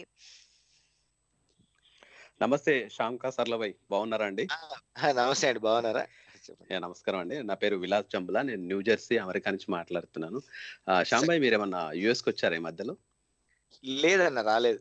ఇంత రాలేదు. సో మీరు త్వరగా యుఎస్కి అంటే కరోనా అయిపోయిన తర్వాత యుఎస్కి రావాలని మా కోరిక. నిజంగా హ్యాట్సాప్ అండి. మీరు అప్పటి నుంచి వింటున్నాము షో. చాలా చక్కగా ఉంది. ఇలాంటి మంచి మంచి అవకాశాలు ఇంకా మీ ముందు ముందు ముందు రావాలని మేము కోరుకుంటున్నాం. హ్యాట్సాప్ భాయ్ తప్పకుండా తప్పకుండా. Thank you thank you so much అన్న.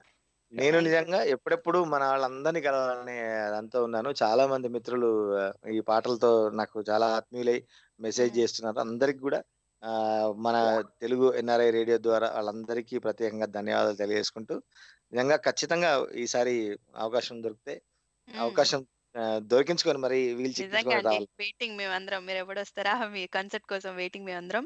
అండ్ మీరు సోషల్ సర్వీస్ చేస్తారు చారిటీస్ చేస్తారు అని కూడా తెలిసిందండి. మేడం. ఆర్ఫనేజెస్కి హెల్ప్ చేస్తూ ఉంటారని చెప్పి మన కృష్ణ అవుట్కూర్ గారు అన్నారు. సో దాని అవునండి. గురించి ఏం చెప్తారా? అంటే అదే నాకు చిన్నప్పుడు అంటే వరంగల్లో మా ఇంటి దగ్గర ఉండేవాడు రాఘవేంద్ర అని పిల్లోడు. తను చేస్తున్న చూసిన తర్వాత చాలా కదిలిపోయాం. వాత్సల్యం అని ఒక ఆర్ఫనేజ్ హోమ్ ఉందండి నాగోల్లో.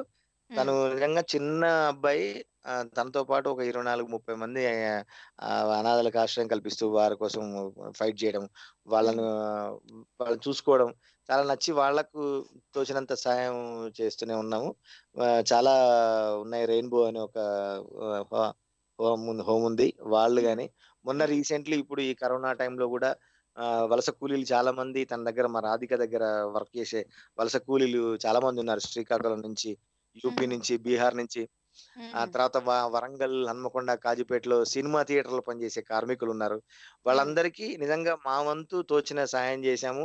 చెప్పగానే ఒక మాట చెప్పగానే ఎంతో మంది స్పందించి వాళ్ళంత కష్టాల్ని తీర్చారు. నిజంగా ఈ రోజు ఈ పాట ఒక పేరును దేవడం కాకుండా ఒక మాటకు విలువ ఇచ్చింది ఎంతో మందికి సహాయపడగలిగే ఒక స్థాయినిచ్చింది. నిజంగా ఆ పాటకి నేను దండం పెట్టుకుంటున్నా. అది ఒక మాట చెప్తే చాలా మందికి హెల్ప్ చేసిన వాళ్ళు ఉన్నారు. ఇక్కడ స్వాతి లక్ర ఐపీఎస్ మేడం గారు కావచ్చు వాళ్ళ సిబ్బంది కావచ్చు చాలా మంది వలస కూలీలకు ఒక్క మాట మేము చెప్తే స్పందించి మా విన్నపాన్ని మన్నించి ఎంతో మంది హెల్ప్ చేశారు. మేము కూడా పర్సనల్గా చాలా మందికి హెల్ప్ చేయగలిగే స్థాయిని ఇచ్చిన ఈ పాటకు నిజంగా నమస్కారం గ్రేట్ అండి గ్రేట్ అండి. మరి శ్యామ్ గారు ర్యాపిడ్ ఫైర్లోకి వెళ్ళిపోదాం సో ర్యాపిడ్ ఫైర్లో ఫస్ట్ క్వశ్చన్ ఏంటంటే జానపదాలు సినిమా పాటలు. రెండిట్లలో ఏది? రెండు అంటే చెప్పలేను నిజంగా. ఇందాక మీరు అడిగిన క్వశ్చన్కి అదే మాట చెప్తూ సినిమాల్లో జానపదాలు. చాలా స్మార్ట్ ఆన్సర్ అండి. మరి ఆర్జీవి కృష్ణవంశీ ఇద్దరికి ఒకేసారి సాంగ్ రాయాల్సి వస్తే ఎవరిని చూస్ చేసుకుంటారు? కృష్ణవంశీ గారండి. కృష్ణవంశీ గారు. ఓకే. ఎందుకంటే కృష్ణవంశీ గారికి పాట రాయడం చాలా టఫ్. ఆర్జీవి గారిని ఒప్పించడం ఈజీ. అంటే ఆర్జీవి గారు మనకంటే ముందే ఆలోచిస్తారు. ఆ, అంటే ఒక- ఒక లైన్ మనం రాస్తే పది లైన్లు ఆయన ఆలోచిస్తారు. ఇట్లాంటి ఎక్స్ప్రెషన్ ఉంటే బాగుండదని. కానీ కృష్ణవంశీ గారికి పాట రాయడం చాలా టఫ్. పది కాలాలు నిలిచిపోయే పాట అవుతుంది అది ఖచ్చితంగా. అందుకని. కృష్ణవంశీ గారు.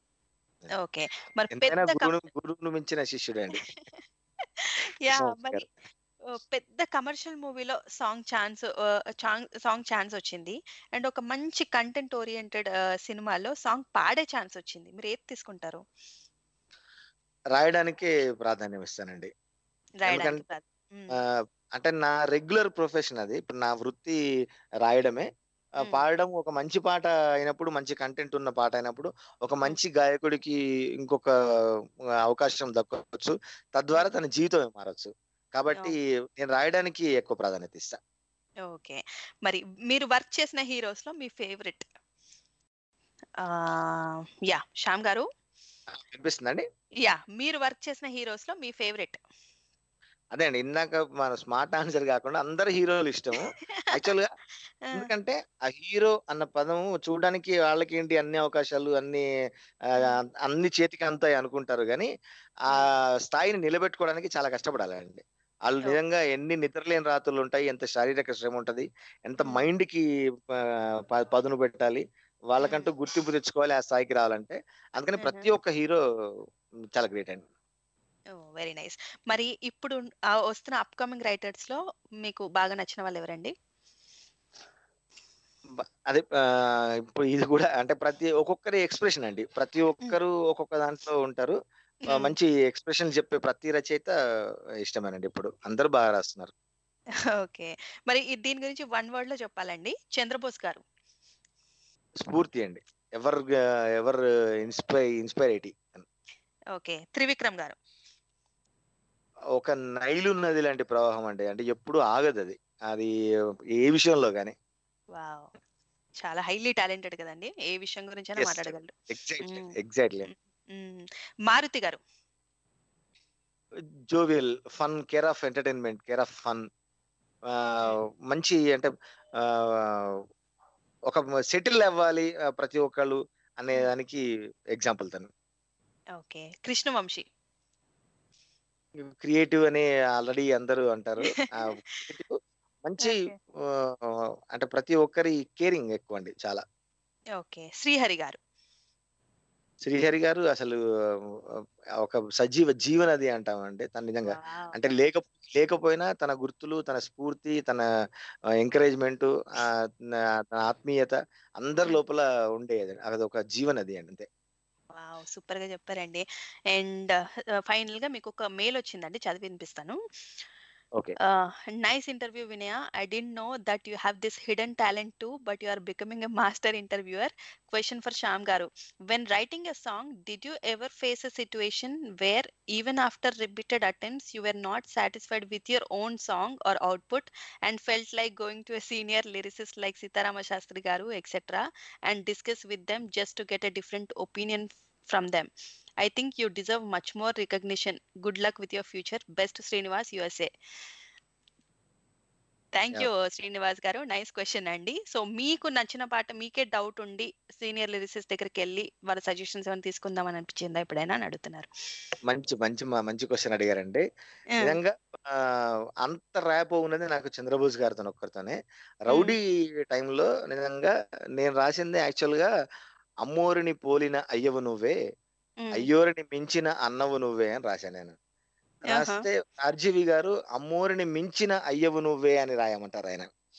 అంటే నేను దాంతో ఆర్జీవి గారితో డిబేట్ కూడా పెట్టుకున్నాము. లేదండి అమ్మ ఇస్ అల్టిమేట్. అంటే సృష్టికి మూలం అమ్మ కదా. అమ్మను మించడం ఎవరు లేరు. అని నేను ఆయనతో పెట్టుకుంటే లేదు లేదు నాకు అమ్మని మించింది అయ్యా అని. ఇక్కడ క్యారెక్టర్ అది. అది కాకుండా మామూలుగా అమ్మని గ్రిప్లో పెట్టుకొని అంటే కాపురం చేస్తూ ఆ ఏ లేదంతా అయ్యానే కదా! ఇప్పుడు మామూలుగా ఎక్కడన్నా సర్పంచ్ గారు లేడీ సర్పంచ్ ఎన్నికైతే సర్పంచ్ గారు భర్త రూల్ చేస్తాడు కదా! అట్లా అమ్మను మించేది అయ్యనే రాయమంటాడు ఆయన. నేను దీంతో కాస్త బోస్ గారికి బోస్ అన్నకి ఫోన్ చేసి నేను అన్నా నేను. ఇదంటే లేదు తన విజన్ కరెక్టే నీ విజన్ కరెక్టే. కానీ ఇక్కడ నేను మనం ఇందాక అన్నట్టు పాట సినిమా పాట వరకు ప్యూర్లీ డైరెక్టర్ విజన్ అది. డైరెక్టర్ గారికి ఏం కావాలో అది ఇచ్చే రాదురా అని అన్నారు ఆయన. Okay okay. నైస్.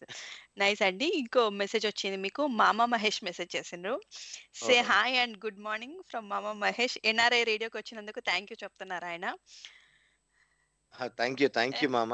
మాకు బాగా క్లోజ్ అసోసియేషన్.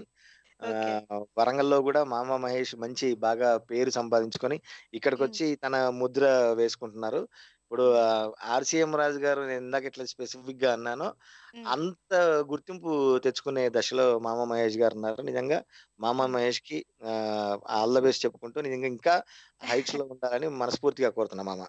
ఆయన చాలా డబ్బింగ్ చెప్తారు. ఏవిస్ చెప్తుంటారు? మీరు వెళ్ళిన ఆడియో ఫంక్షన్స్లో కూడా వినే ఉంటారు ఆయన ఏవిస్ అవును. అవునండి. అవును. యా వెరీ నైస్ అండి. అండ్ ఇంకా ఫైనల్గా ర్యాప్ అప్ చేద్దాము శ్యామ్ గారు. థ్యాంక్ యూ సో మచ్ అండి. అడిగిన టైం కంటే ఇంకెక్కువ సేపే ఇచ్చారు మాకు. మన్నించాలి. కాల్స్ ఎక్కువ రావటం వల్ల మిమ్మల్ని అడగాల్సింది చాలా ఉందండి. నిజంగా మీరు ఇంకా చాలా హైట్స్కి వెళ్ళాలి శ్యామ్ గారు. శ్యామ్ గారు అంటే ఒక ముద్ర పడిపోయి ఆల్రెడీ పడిపోయింది మీ పాటలతోటి. అండ్ ఇంకా ఎన్నో వండర్ఫుల్ సాంగ్స్ రాయాలని మనస్ఫూర్తిగా కోరుకుంటున్నాను శ్యామ్ గారు. అండ్ యుఎస్ఏ కూడా రావాలి. ఇక్కడ ఎన్నో షోస్ ఇవ్వాలి మా అందరి కోసం. తప్పకుండా అండి. ఈసారి ఖచ్చితంగా వస్తాను. ఆ నిజంగా ప్రపంచవ్యాప్తంగా ఆదరిస్తున్న అభిమానిస్తున్న ఆశీర్వదిస్తున్న అందరికీ ప్రత్యేక ధన్యవాదాలు తెలియజేసుకుంటూ వచ్చే చిత్రాల్లో కూడా మంచి మంచి పాటలు ఉన్నాయి మంచి మంచి సినిమాలు ఉన్నాయి అందరూ ఈ కరోనా ఈ కట్టడి నుంచి మనం బయటకు వచ్చి ఈ కష్టం నుంచి ఆ నేను రీసెంట్లీ మంచు మనోజ్ గారికి రాసినట్టు ఆ చల్లగుంటామురా సక్కగుంటామురా చీకటి ఉండిపోదురా మళ్ళా ఎలుగొస్తదిరా అంతా బాగుంటాంరా అని రాసాం. అందరం నిజంగా బాగుంటాం బాగుండాలి. అందరం ఈ దీంతో కొత్త పాఠాలు నేర్చుకొని కొత్త జీవితాన్ని కొత్త పొద్దుకు ఊపిరిపోద్దాం. మళ్ళీ మంచి రోజులలో ఖచ్చితంగా ప్రపంచవ్యాప్తంగా ముఖ్యంగా ఫస్ట్ అమెరికాలో ఉన్న అందరినీ కలుసుకోవాలని కోరుకుంటున్నాను నేను. తప్పకుండా అండి. శ్యామ్ గారు నా షోలో అప్పుడప్పుడు చిన్న చిన్న పోయం చెప్తూ ఉంటాను నేను. మీ పేరు మీద కూడా సరదాగా ట్రై చేద్దాం అనుకుంటున్నాను. అసలు ఏమనుకోద్దు విన్న తర్వాత. తప్పకుండా అండి. అయ్యో! కాసర్ల శ్యామ్ కాసర్ల శ్యామ్ మీతో ఇంటర్వ్యూ ఈజ్ మై డ్రీమ్. మీ పాటలకి డాన్స్ చేస్తే ధూమ్ ధామ్ మీ లిరిక్స్కి మేము అవుతాం కైవసం. రాధిక గారు is your lucky charm and that is you the one and only Kasarla Shyam. Oh thank you thank you so much అండి.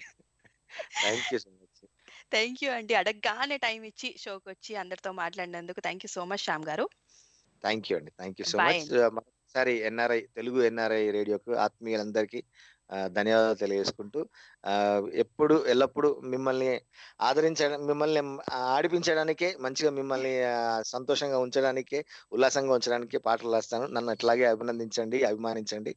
Thank you thank you so much thank you అండి. Thank you so much Shyam గారు. Bye అండి. Yeah అండి. Thank you so much bye yes listeners అది మన శ్యామ్ కాసర్ల గారితో special live show. అసలు ఎన్ని పాటలు ఆయన పా- ఆయన పాటల గురించి నిజంగా రెండు గంటల షో కూడా నాకు సరిపోలేదు అనిపించింది. ఆయన షో పాపం అడిగిన టైం కంటే ఎక్కువసేపు ఓపిక్గా ఉండి అందరితో మాట్లాడి ఆయన పాటల గురించి చెప్పారు. నిజంగా శ్యామ్ గారు మీరు ఇంకెన్నో వండర్ఫుల్ సాంగ్స్ రాయాలి హైట్స్ రీచ్ అవ్వాలని మేము అందరం కోరుకుంటున్నాం. అండ్ ఎస్ వీకెండ్ షో అయితే సూపర్గా అయింది కదా మన శ్యామ్ కాసర్ల గారితో. ఐ థింక్ మీరు అందరు కూడా ఎంజాయ్ చేస్తుంటారు అనుకుంటున్నాను మళ్ళీ నేను మీ అందరిని రెగ్యులర్ మండే షోలో కలుసుకుంటాను. Same time eight thirty am నుంచి టెన్ థర్టీ ఏం వరకు. Until then this is your RJ Vinaya signing off for today already పడుకున్న వాళ్ళందరికీ good night and morning time జోన్స్లో ఉన్న వాళ్ళందరికీ. You all have a great day signing off bye